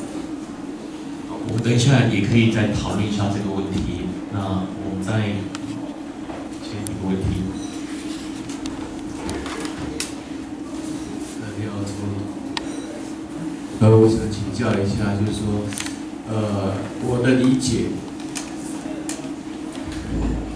文化被列为文化资产保护的古迹，当然基本上是以建筑物为主。那在一个都市土地里面，所谓的更新使用，基本上是因为人的在一个特定土地的集居现象里面，他发现原来的居住场域已经不符合新的生活需求，他要创造在该土地上的更，只要说面对新的期望的使用，而要去把旧的废除掉。那我比较不理解的就是说，既然文明楼这一块基地的这栋房子被定为古迹，那现在所谓的利用都市计划更新的这个步骤，要去改变这个街 block 这个街区，那到底您所知道的整个 block 的使用有没有把这一块基地剔除掉？因为这这是这个是，就说这个保存的意义是要留着它的现状，它代表了某一个文化的意义的存在，不应该被这一个其他周围的土地的重新使用来取代。那我刚刚听的意思好像就是说，这个这个现在的整个街区，如果要都跟，不管是私人还是公家要去办理，他有没有把这一块基地剔除掉？那如果剔除掉的话，他他剔除掉他原来的土地所有权人跟房屋所有权人，他在法律以古迹的名义被定着之后的应有的利益，任何人都不可以去剥夺它。所以我觉得要很清楚，就是说，到底现在这个更新本身有没有把这一块地、这栋房子给剔除掉？如果是这这如果把它混为一谈，很多问题就谈谈不清楚。啊，但是应该是要把它对不起，你所谓的剔除掉是什么意思？就是说，他这一块土地的定着的这一块基地，谁也动不了它。这是文化，这是古迹认定的第一个第一个基本的一个概念。然后定着了，它不会随着时代的这个改变而改变它的状况，甚至于所谓的维护，就是说你的这个保护还要维持它的建筑物的继续存在，这才是古迹的价值。所以说，如果说你把这两个东西混在一起的时候，很多事情就可能不太容易去把它理清它的这个这个相关性。嗯，好，谢谢。呃，那那我们现在有有有三个问题，我们先先让嗯君主来回答。我先从最后一个开始回答。哦，我试着讲一下，如果没有讲清楚的话，就随时可以对话。嗯，三年三年前，这个建商进场要做都更的时候，文梦楼是含在这个都更计划里的。哦，对，就是这个古迹一开始就被含在这个都更的计划里，但是这个建商很清楚知道它是古迹，所以它的硬体不会被动。哦，但是建商之所以想要把它涵盖进来，就是像刚才过程中曾经给大家看到一个四亿的容积的图，大家还记得吗？就是一个小小的二十六平，但是因为它参与了都更，而且它还可以同时有古迹附带的各式各样的容积奖励，所以其实因为政府的利益是希望，嗯，建商可以在都更过程中把这个古迹修复了，好，把这个古迹维护了。但是我刚刚说的是，容积蟑螂也在这个过程中看准了，因为会有这么多的利益，所以他进来买下来这个古迹，但是他的目的是为了谋取那个利益，为了谋取土地的利益，而不是为了谋取这个文化利益，这样懂吗？对，所以其实是在过去这几年里面，嗯，我们花了，就说，其实大家想说，在整个都更案里面，日日春的角色是什么？其实日日春在一般传统的都更案里面，日日春是上不了桌的，因为我们既不是都更里的地主，也不是都更里的屋主，我们是谁呀、我们只是一个承租户，对，是一个房客。而且我们是一个，就是过去这个古迹的管理人，哦、所以我们其实完全在整个都更案的讨论过程里面，一般来说日春本来是上不了桌的，哦，那可是其实是因为有非常多社会的支持，哦，所以我们才能够就是从上不了桌到拼命挤上去，然后到拼命的，就是很努力的想要再为这个古迹发一点声音，好，然后最后才做出来。去年九月的时候，才把这个古迹给划出都更范围的，就是因为我们认为这个古迹如果继续留在这这个都更里面，完全对这个古迹的维护是没有好处的，只是利益到投机客，只是利益到建商而已。嗯，所以现在是把它画出来的状况，这样有解答你的问题吗？呃，我要说的是更重要的，不晓得，因为我没有去去现场看过。嗯，你知道吗？一栋建筑物，尤其如果说这是沿街性的建筑的话，对它建筑物本身是有所谓的连带性的关系。对，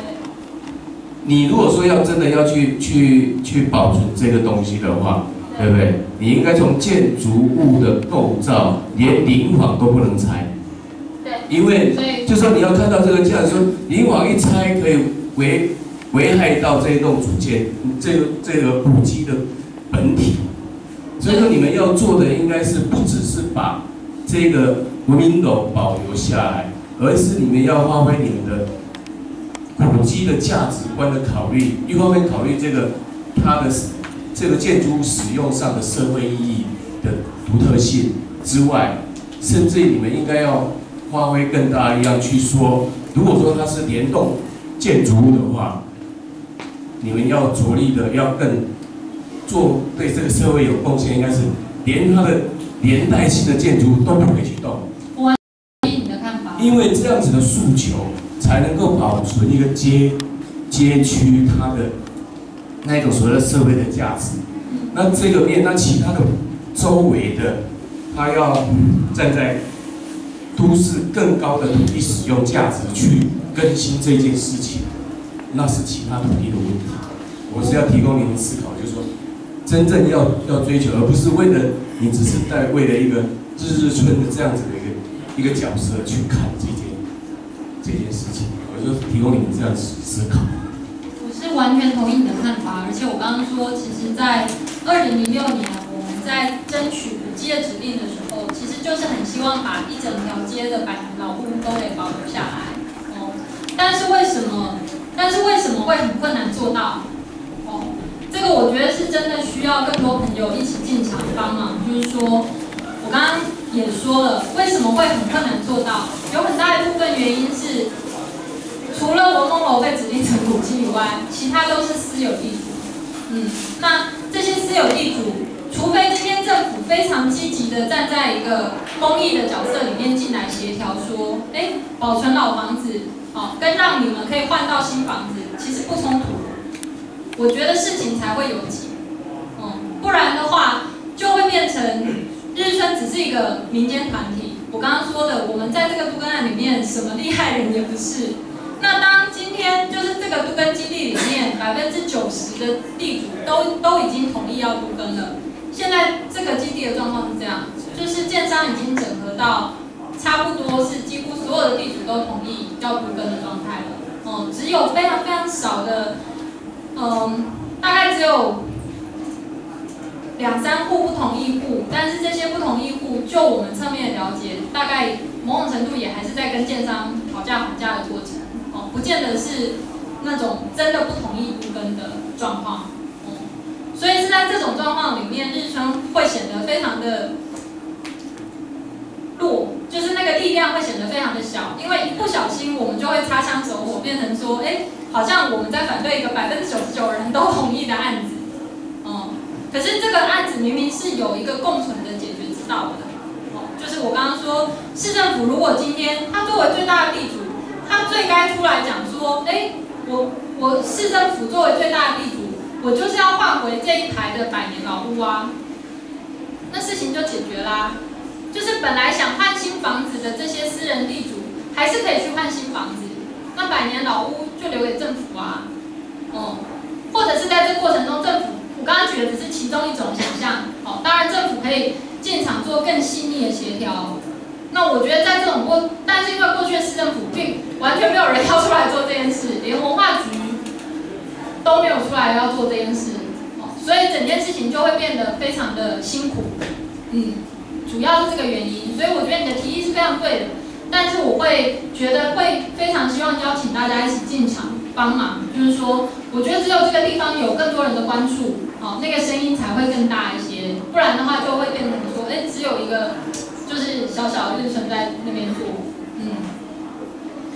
然后刚才糟糕，我已经忘了第二位的问题。第一个问题是有钱人他就是被抓哦，对对对对对。我觉得你已经回答了你的问题，就是说，我的看法基本上也是觉我，我的看法基本上也认为说，有钱人当然有义务。因为从我的角度，他可以有钱，不是他天生特别英明，而是这个社会里面有各式各样的阶级的不均、资源分配的不均。那他只是今天侥幸站到那个位置，或者他今天先天条件好，再加上资源给了他各式各样的有利，所以他可以继续靠这个东西为生。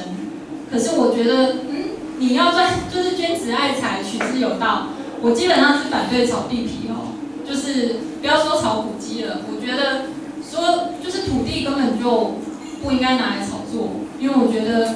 居住就是每一个人的基本权利啊。可是我们在座这些年轻人，谁买得起房子？谁可以？就是在今天这个社会里面，我们连居住都成了问题哦，不要说买房子了，你要租到你的薪水要能够租到你自己很很喜欢的房子，你觉得很舒适的房子，其实都非常的困难。哦那在这种状况底下，我觉得土地根本就不应该被拿来炒作。哦，那我其实也是在这几年的过程中才发现，台湾原来还有一个已经很久不用的土地法，里面规定说，如果今天是投机客，哦，如果是靠炒作土地来牟利，可以判三年以下有期徒刑。但是这条法令从来没有实施过，对吧？然后土地法里面也有一条是认为古迹都应该收归公有，就算它本来是私的，都应该收归成公的。但这条也从来没有实施过，对吧？就是这些法令大概都是继承了三民主义的平均地权的想法而来的。但是在台湾越来越迈入资本化的社会的时候，哦，其实包甚至包括文化资产保存法。刚才给大家看的二十四条征收的法原理，本来在大家从民国就是这一条法律它的原文，在民国七十年的时候，它的原文里面，哦，除了因为管理不当可以征收以外，它还有另一个原因也可以征收，这个原因叫做不宜私有，意思就是说，如果有一些主管机。如果主管机关认定有一些古迹它不适合放在私人手上，也可以征收。那我觉得文龙楼在这里其实是一个，的确是一个还蛮特殊的案例，是说，嗯，一般的私人古迹，哦，比方说迪化街好了，一般的私人古迹可能是因为，哎，你的祖上就是有钱的时候，哦，去做生意有钱了发财了。把你家修的美轮美奂，所以会被，所以会变成是古迹。可是文龙楼它之所以变成古迹，跟这个屋主一点关系都没有。文龙楼之所以会变成古迹，完全不是因为屋主的贡献，而是因为过去在这里工作过的小姐和在这里抗争过的小姐的贡献。所以我说，所以我觉得文蒙楼，我也认为它是一个不宜私有的古迹，是因为一方面它当初被指定成古迹，完全和屋主或地主没关。可是如果放任它在私有财的市场上面不断转手买卖的话，其实它原来的那个社会意义是很可能流失的。那二方面就跟刚才前面大家也讲到，比如说乐生，就是我觉得文某某这个案例，它也是一个比较争议性的文化资产，就是说它不是一个像寺庙啊、宗祠啊这种大树啊这种没有争议的财产哦，它这个文化资产它其实是一个比较冲突性的、比较争议性高的资产，所以它如果流落到私人手上，事实上也很容易。就是在转手之间，它的社会意义不一定会被委屈下来，嗯，所以我刚才讲这些法律，只是让大家知道说，我觉得台湾的法律，哦，其实，在某个年代，在更早的年代的时候，我觉得它是相对有一个公有的精神的，它未必是完全这么资本主义的，哦，可是当在九十四年的时候，因为很多立委，哦，他们讨论到。我刚刚讲的征收这一条的时候，他们就认为说，哎，如果认定这个古迹不宜私有，会不会侵犯私人的财产权？嗯，所以就是在这个讨论里面把它拿掉了。所以他们也没有想到，哎，真的会发生这些争议的案例，哦，而且是在一种普遍社会越来越资本化的年代里面，开始这些不宜私有条文就不见了，或者。像土地法即使存在就不用了，嗯，那再回来第一个问题是在问诉讼，嗯，诉讼是这样，诉讼其实是嗯三年当林立平买下了这个屋，买下了文蒙楼，然后他要求日春迁出的时候，我们不愿意迁，所以他就去告我们，他告我们那个叫什么侵占。你就想象，如果今天是一个房东，哦，你的房就是他卖掉了，他卖给新的买主，那新的买主要赶走原来的租客，原来租客不肯走，哦，所以新房东就告这个旧的租客说，你侵占我的财产，啊，你应该要搬出去，嗯，所以我们本来都觉得，在这个司法的路径上，我们是必输无疑，因为就像刚刚说的，中华民国法律是保障私有产权。他如果凭借他是屋主要来把我们赶走，其实我们就是必输的。所以，我们其实，在一审、二审，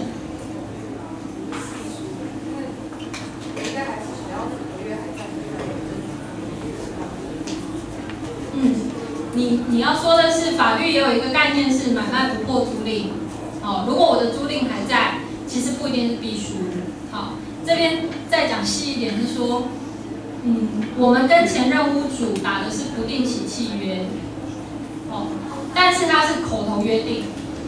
因为前任屋主就是一个八九十岁的老先生跟老太太，他们已经没有在，我们从来没有签过房屋契约这件事，所以就是一个口头约定，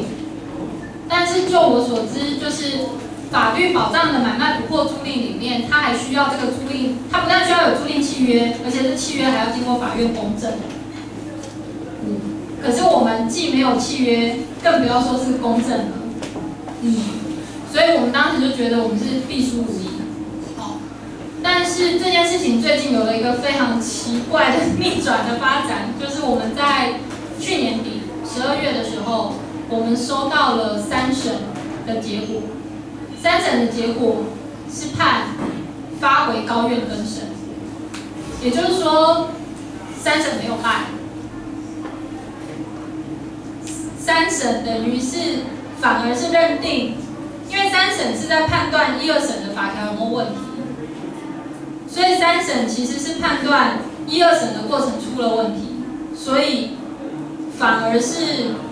嗯，反而是进入了一个延长赛。就是发回高院要跟审，嗯，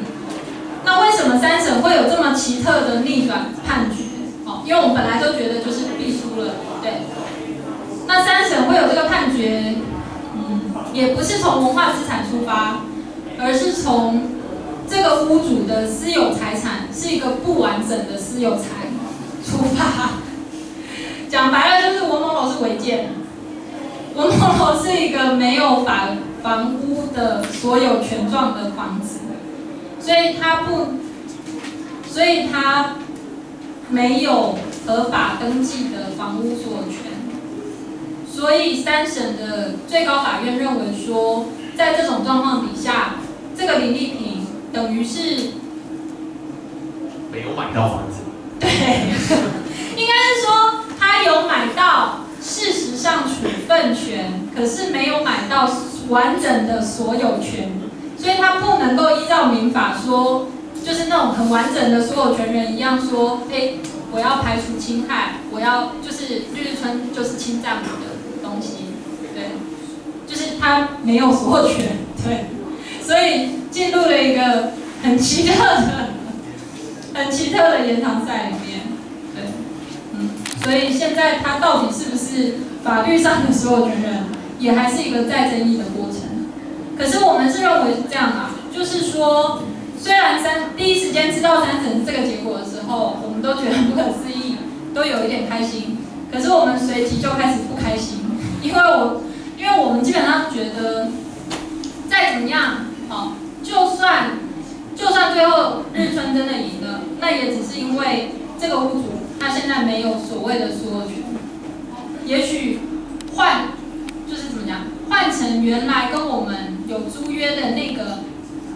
老爷爷跟老奶奶，他们跟我们终止租约的时候，就是我的意思就是说，日村毕竟没有所有权，我们毕竟就是一个租客。嗯，今天可能只是林立平告我们告不成，但是换成原来的屋主告我们，搞不好就成了，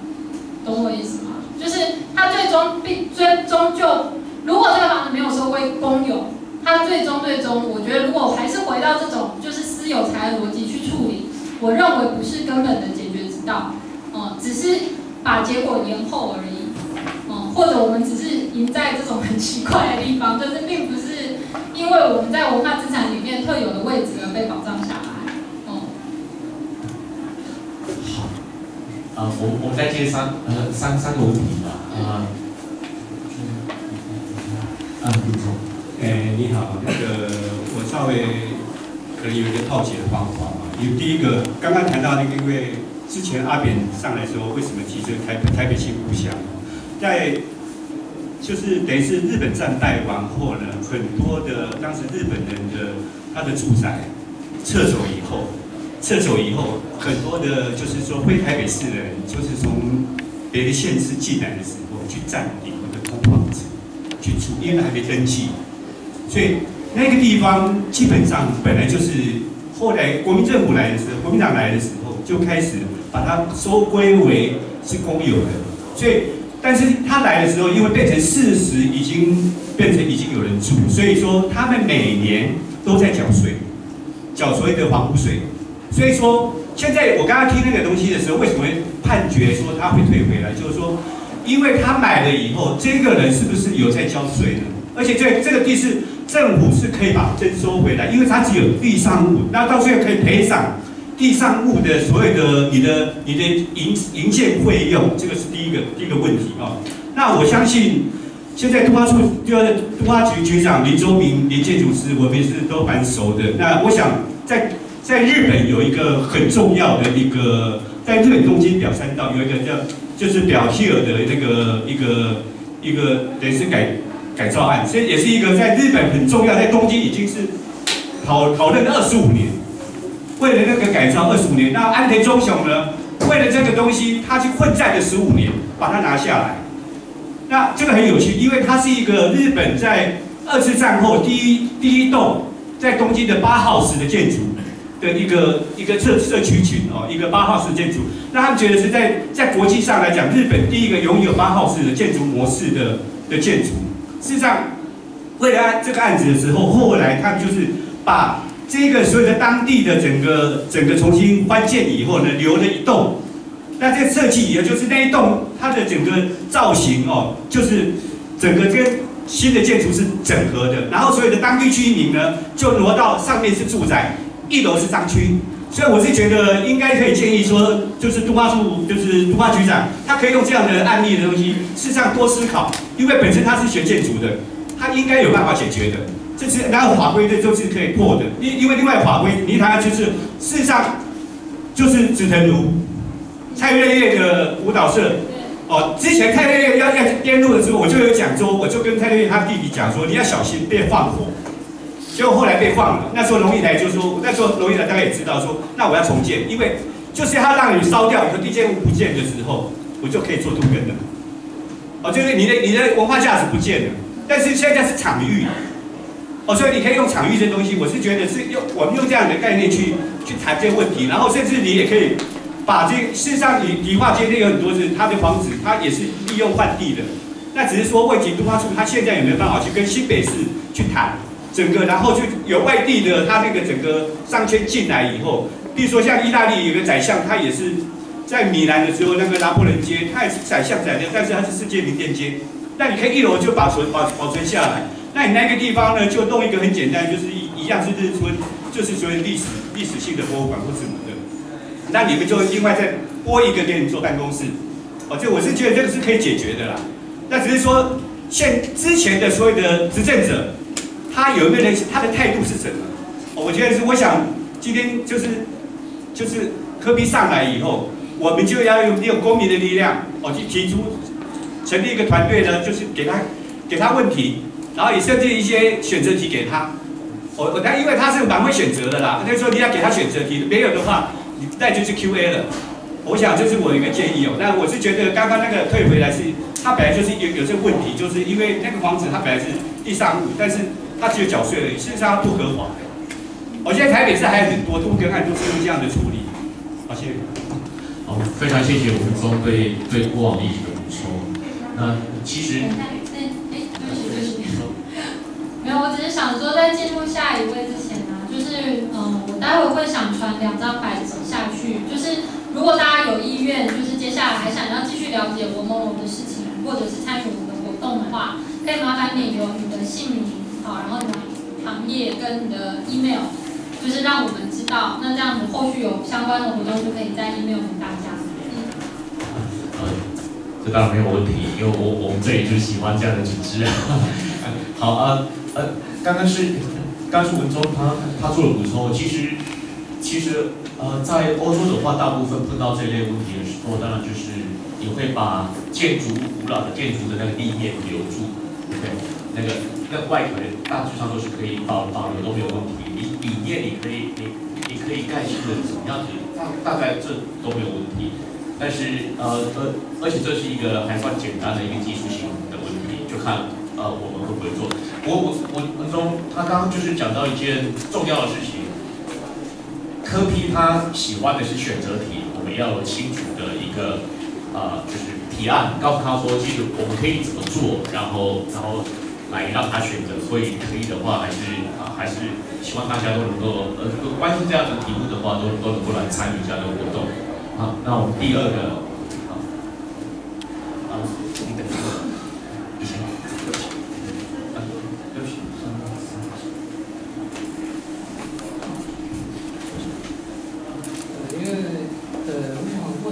说，呃，们这个是市定古迹还是国定古迹？你们有申请到国定古迹吗？当时在没有啊。没有挑战试看吗？因为呃，其实就我，因为我刚好也待，恰那么刚好也待过过。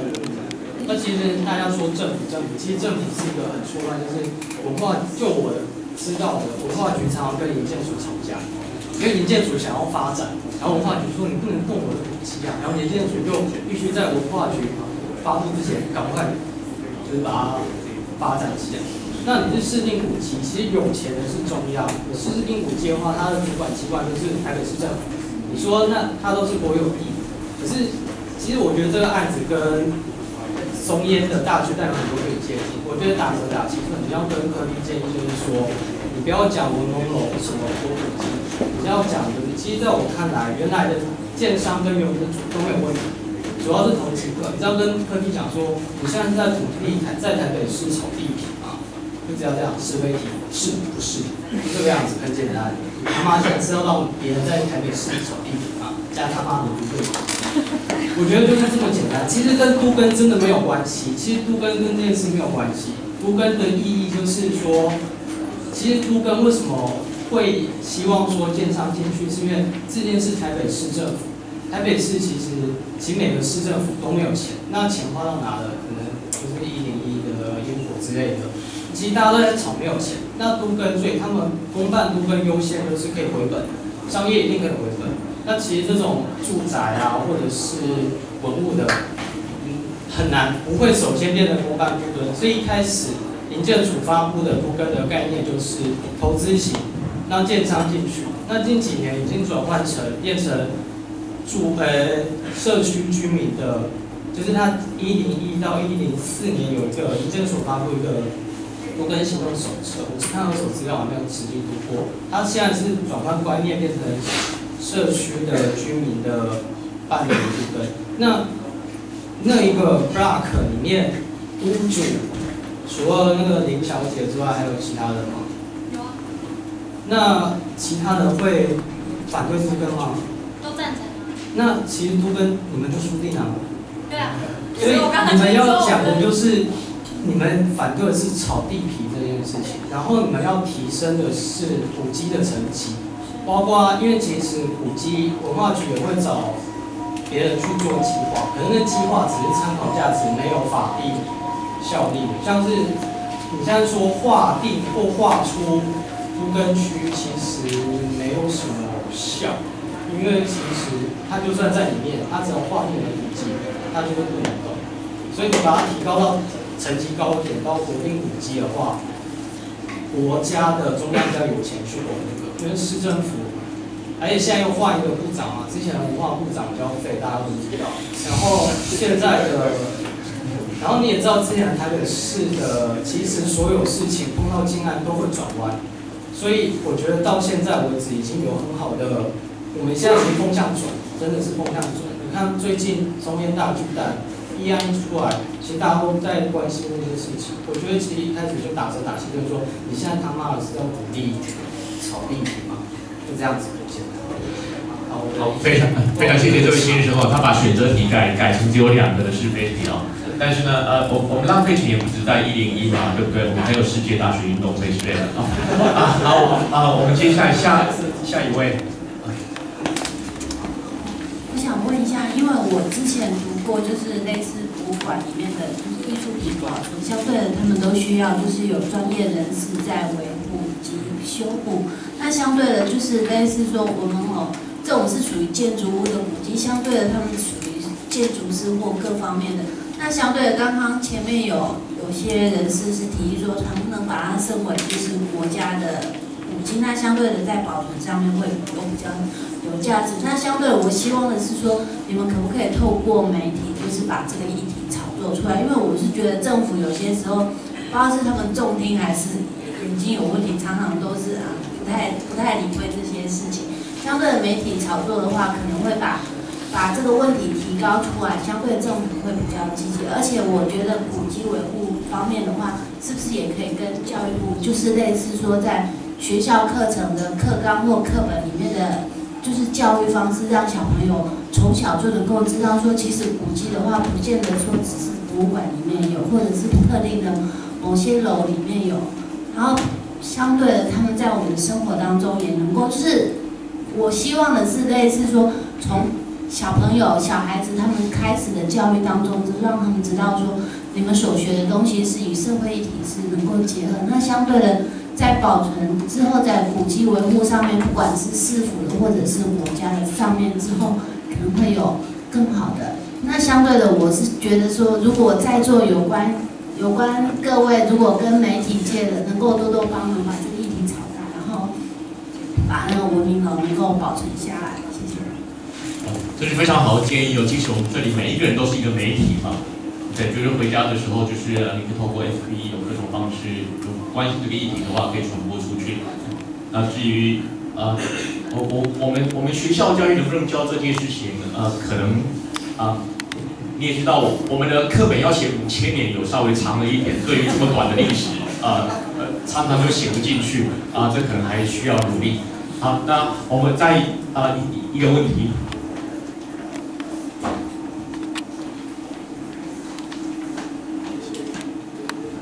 好，我想请问第一个问题是说，我想请问，呃，没有文蒙楼的的呃，没有文蒙楼的日日春还是不是日日春？那没有日日春文蒙楼还是不是文文蒙楼？觉得这两者之间的关系到底是什么？第二个问题是说，呃，我我想请问在今天这份简报里面，你们日日春对于文蒙楼最后很实际的要求跟想法做法，你们的计划到底是什么？那我在这份简报里面，我只有看到你一直强调，呃，屋主的获利是怎么样，然后你用你的道德判断说，他这样的获利是好或是不好，然后他拿多少钱不应该。可是我我没有看到这个东西跟文蒙楼本身的存在有任何的直接的关系。我没有看到你跟我讲说，文蒙楼呃，这个屋主拿到这块。房子之后，他赚不赚钱，跟他有没有照顾文蒙楼，或者是文蒙楼目前这些年来，实际上因为换了这个屋主之后，他实际遭受到什么样的损失，或者是他有什么样的变好，在都呃，我只有听这份简报，这份简报完全都没有提到，所以我还是不晓得说你一直批批的那那些人在骂的时候，那跟文蒙楼到底有什么关系？谢谢。哦，这是非常严肃两个呃哲学的问题哦。第一个是本体论上的啊，就是 就是呃呃它的存在，我们的存在跟日升的存在到底是不是呃唇齿相依的关系？第二个真的是呃直接就是道德的问题了。那我们君子回应一下。好，我我觉得非常谢谢你的问题。好，就是嗯，我觉得对我来讲。文蒙楼的终极的使用，我刚刚其实前面有提到，不知道讲的够不够清楚。就是说，我觉得这个房子它既然是因为反废仓运动而被指定成古迹的，那我其实对我来说，它不太是一个走入历史的博物馆，啊，或者只是一个展览馆，而是我们现在台湾的法律，大家知道吗？台湾的法律现在是怎么在对待性工作者？在台湾的法律里面，现在成人的性交易还是处罚的，枪条皆罚，除非地方县市政府有成立合法的工作地点，嗯，但是没有地方县市政府有，所以全台湾性交易都还是一个处罚的状况。所以对我来讲，我觉得文某楼的存在，它最核心服务的目的，应该是如何让这个过去，就是说它。它在台湾的历史上，它曾经有一段时间是合法的，但是在陈水扁废仓跟就是整个法制里面，目前已经是越来几乎是全面非法化跟全面地下化的状态。嗯，那所以对我来说，这个房子的使用应该是扣着我们的社会如何去面对性工作者，如何去面对成人性交易这样一个严肃的公共政策的议题，跟如何去面对。这个议题背后反映的很多的性道德的污名，我觉得它最核心的作用是。如果我们今天回到文化资产的维护来说的话，文化资产的管理维护里面，就是觉得最好的古迹应该是什么目的？就是最好的古迹，最好的管理维护方式，其实就是维持它原来的生活的方式。所以对我来说，最理想状况。文蒙楼就应该是一间餐馆，为什么不是？对不对？就是在台湾，我们到处都有非法的性交易的羊头店，可是就是不能够直接的出现，我就是餐馆，我就是性交易。这其实是我觉得台湾社会里面一个很值得去想的问题。这一年来有这么多名人外遇。好不管是弯弯九把刀到陈伟霆的性骚扰也好，就是说，我的意思是说，台湾的社会其实很缺乏一个更复杂的去讨论性亲密关系的这样的空间。那其实台湾也是在缺乏去更正视性工作的这样的社会环境里面，所以到目前为止，我们的性交易还是非法的。所以对我来说，最理想的状况，我梦楼它就是一间餐馆。可是现在因为法律禁止，所以我们没有办法直接做餐馆。所以，但是我们退而求其次，我们在这个餐馆里面，仍然呢是不断。的在用我们活着的，就是不管是透过导览也好，透过各式各样的活动也好，透过阿姨的性教育也好，其实我们是在里面开创很多的讨论的空间，是希望这样的话题在这个社会里面还有一个土壤可以去发生。嗯，我觉得最理想状况是这个，对，所以我当然某种程度也是用这个指标在衡量说这个投机客距离它有多远。所以我刚刚才会说，对我而言，有钱也不是罪。如果今天这个投资客他有钱，他真的发心想维护古迹，对我而言，最理想状态就是他也想要来一起搞纪运，他也想要一起来维护。好，就是他怎么看待这个社会过去曾经排除了性工作者，而一群性工作者在这里面继续发生。他如果愿意一起参与，对我来说是最理想的状态。所以文某楼不是非日日春不可，但是文某楼对我而言，它是非季运不可。懂我的分别吗？就是我不是在争日日春的经营权什么的，而是我在争说这个古迹维护下来，它到底是不是，它到底是不是要为这个在现在整个社会体制里面被排除的性工作有一个发生的空间？对我而言。如果这个屋主他愿意参与这件事，我们绝对乐见其成。哦，可是如果这个屋主他一方面要用着这个价值赚钱，然后一方面又要把性工作者赶出去，那我完全看不出来他想要用什么方式来管理维护这个空间。他过去这几年，为什么我刚刚在简报里没有特别讲这几年，就是他做他对这个空间做了什么？因为过去这几年来。一方面是日春不肯搬家，哦，所以而且三省还在持续中，所以我们当然还是原来就是继续使用这个空间的主体，对。那二来，这个屋主他有他名下有非常多的房产，他买这个房子也不是为了居住，哦，所以他自己其实也没有住在这，他其实连来文蒙楼的时间可能连一天都不到。那他做过的事情是什么？他做他曾经邀铁板烧师傅。来文蒙楼看，来看这个文蒙，我不知道他是想象文蒙楼要变成铁板烧的空间吗？还是变成什么？嗯，他还做过什么？他曾经偷过文蒙楼的匾额，就是 那个文蒙楼的牌匾，就是他曾经在，我真的没有很想搞道德指控这件事，但是我觉得这件事情很荒谬，就是说他要赶走日村赶不走，所以他某一天星期天的晚上。他就自己偷偷的来，把文峰楼的牌匾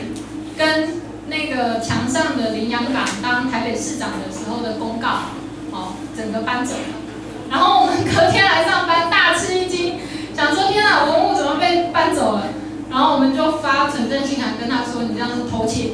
然后过了两天以后，他就自己摸摸鼻子，就就再把那些文物给挂回来。哦，可是对我们来讲，我们就会觉得说，你到底你是以为买了这个房子以后，所有东西都是你的吗？至少他前面几年是带着这种趾高气扬的方式来跟我们沟通，哦，那所以我就是到目前为止，我能够看到的东西是这些，就听不太出来他有，就是像我刚刚说的，好，他还做过什么事？再来就是因为文化局要求他写管理维护计划，所以他打电话打了一圈，就是给所有。可能文化部有给了他文资委员的名单，他就一个一个打去，就是我刚刚说的，他很想发包，很想花钱找人帮他写报告。可是大家觉得这个动作是真心的吗？这个动作并不是在他买股，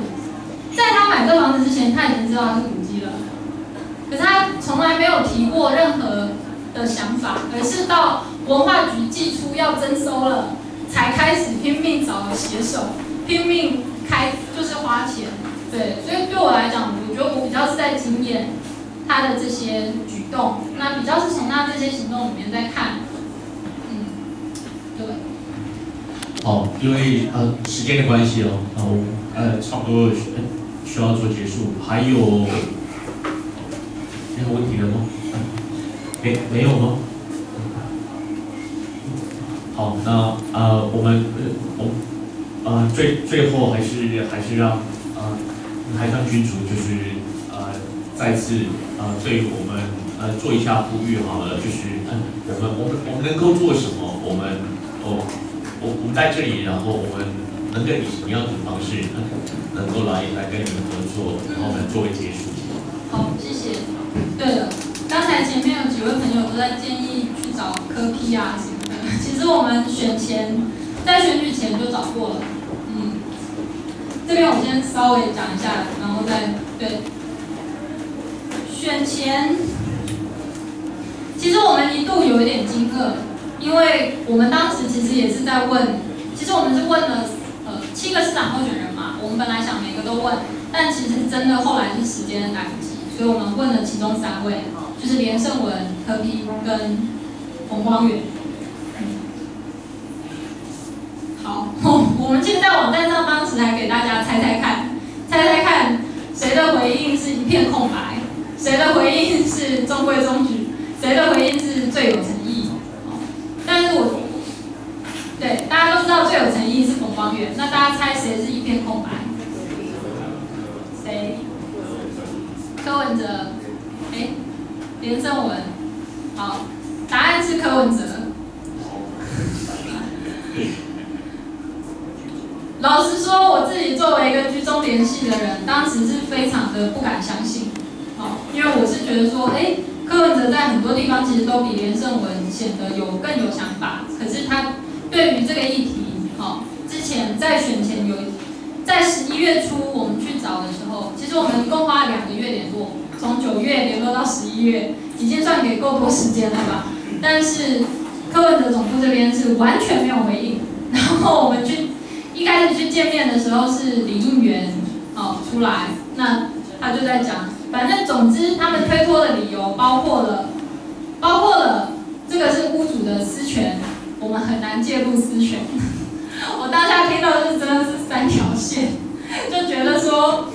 这到底是屋主的私权，还是是市政府的公共，就是还是市民的公共财？哦，你当然可以说他私权，但是市政府难道没有一个？就是打算从公共介入的这个企图吗？所以我们其实，在选前三天，哦，因为当时公，呃，总之选前三天，因为柯批他们在那个文化局长遴选委员会的记者会上，也被记者再度问到文蒙楼的问题，而且他们当场也是处在一种就是答的很糟的状况，不但空白，而且答的很糟。就是一副说，哎，就算前任决定了征收，也没什么不可逆的。然后我们就快昏倒了，我们想说，天啊，我们好不容易争到说前任的文化局长愿意说要征收，你竟然说没什么不可逆的，我们就不是柯比说的，好，是姚立明说的，就是他的选举的总干事说的。所以我们选前三天就再去找了一次柯文哲，那这一次他就派了张景生和姚和许立明来。所以这一次张景生来的时候，就很清楚的是谈公办独根。嗯，那但是他的公办独根的想法，哦，如果就当天来说的话，我觉得他就，他就总体的街区的想象来说，我觉得是好的，因为他其实也是一进入现场就知道了，哎，原来这里有就是将近一半的公有地，还有这里有一整排百年的老房子，所以他其实。是有 sense，但是我觉得就文梦楼争议来说，其实我觉得张景生想的公办都跟也比较是用利益来交换的方法，就是他基本上觉得这个投资客也是有这个投资的权利，所以呢，这个，所以我觉得他想象的公办都跟其实也是就是像我刚刚说的，就是用利益来交换。哦对我市政府愿意出高额的容积，那你投资客愿不愿意把房子交出来？那所以我觉得这边当然还有很多的未知数。哦那这也是我们刚刚说，所以其实选前经历了这一场以后，现在市政府其实就我所知已经是高度列管罗某某这个案子的状态了。哦，就是副市长林清荣其实是一个。号称是都跟一把手，哦，就是他也是台南铁路东移，当时在台南是主导这个案子的副市长，哦，所以其实他对都根是非常有经验，但是很粗的来分也是开发派的人，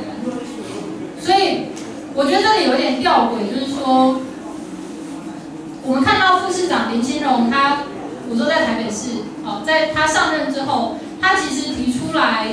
因为公办都根其实是一个，其实是柯文哲很重要的政见，哦，他说要公办都根盖出公共住宅五万户，来提供给就是只租不卖的住宅。那但是林清荣想要盖出这五万户的方法是，他要跟建商用超额容积来交换。什么是超额容积？大家在刚才看完那个图以后，有一点点概念了吗？就是基本简单说，容积就是拿来盖房子可以换钱的。那他要给建商超额容积的意思，就是说很可能，我只能说很可能哈，因为现在也没看到细节。但是它基本上的概念就是，可能是给建商比原来法定容积更多的容积来交换。譬如说，这边规定只能盖，随便讲，这边规定只能盖十十层楼，可是我给建商盖成十五层，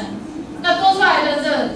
多出来的容积里面有一半拿来当公共住宅，一半拿去奖励建商。所以我觉得这样的政策里面其实是一个。两面刃，它看起来好像一边符合了公益，可是一边其实又是继续。从我的角度，我其实真的觉得台北市不需要这么多房子了。如果你们知道台北市的空屋率已经是百分之七，我们平均每十四间房子里面就有一间是空屋的话，我其实真的不觉得台北市现在是需要一直盖房子下去，哦，而是我觉得台北市的居住政策其实应该反而是真的是要重重打击投资跟让。就是跟让这些空屋可以释出来，哦，可是因为总体的土地税其实都非常的低，所以让还是可以借由长期持有空屋来炒地皮，好，这些细节先不论，但是我就是想让大家先知道这个概念。那知道这个概念跟背景的意思是说，虽然我觉得科比这就是最近几天他当然在很多的争议案上表现得很不错，在大巨蛋啊，在各种案子上表表现的好像很有 guts，很愿意挑战裁判，但是我说他是两面刃，就是说，但是我们同时也看到副市长林金荣他寄出来的这种方法是用超额的容积在交换公共住宅，看起来好像符合公益的，但是同时又做了，又让这个台北市的开发强度更高，让建商赚更多，嗯，所以好回到文峰楼。一样，我们为什么还是很担忧？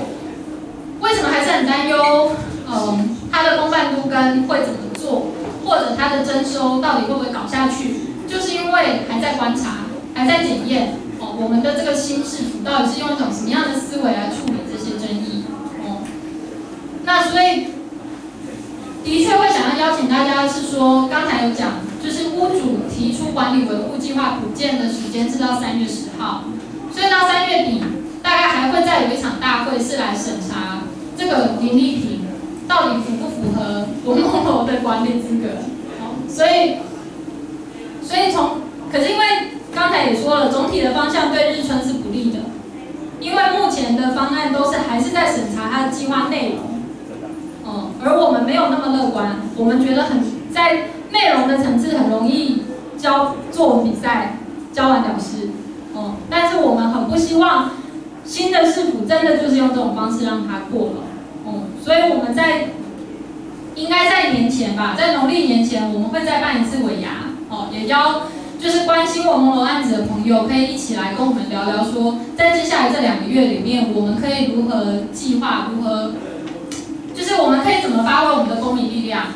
哦，一起来监督这个新的市府，哦，他在面对台北市第一起。私人古计划入都根的时候，到底他的态度是什么？哦，到底他们会用什么样的作为来处理这个文化公共财的争议？对，所以，嗯，对，所以如果刚才有留 email 的大家，就是我们会在就是发讯息给各位，然后也很希望邀请大家，如果关心他的话，就是有机会可以来走走，来听阿姨的导览，然后同时也跟我们一起讨论接下来可以怎么做。好。呃，因为时间的关系，我们必须结束。但是呢，这个场地大概还可以，还可以再玩一下。所以如果等一下啊、有什么任任何意见的话，都可以直接跟都可以直接跟剧组啊、就是可以讨论。那我。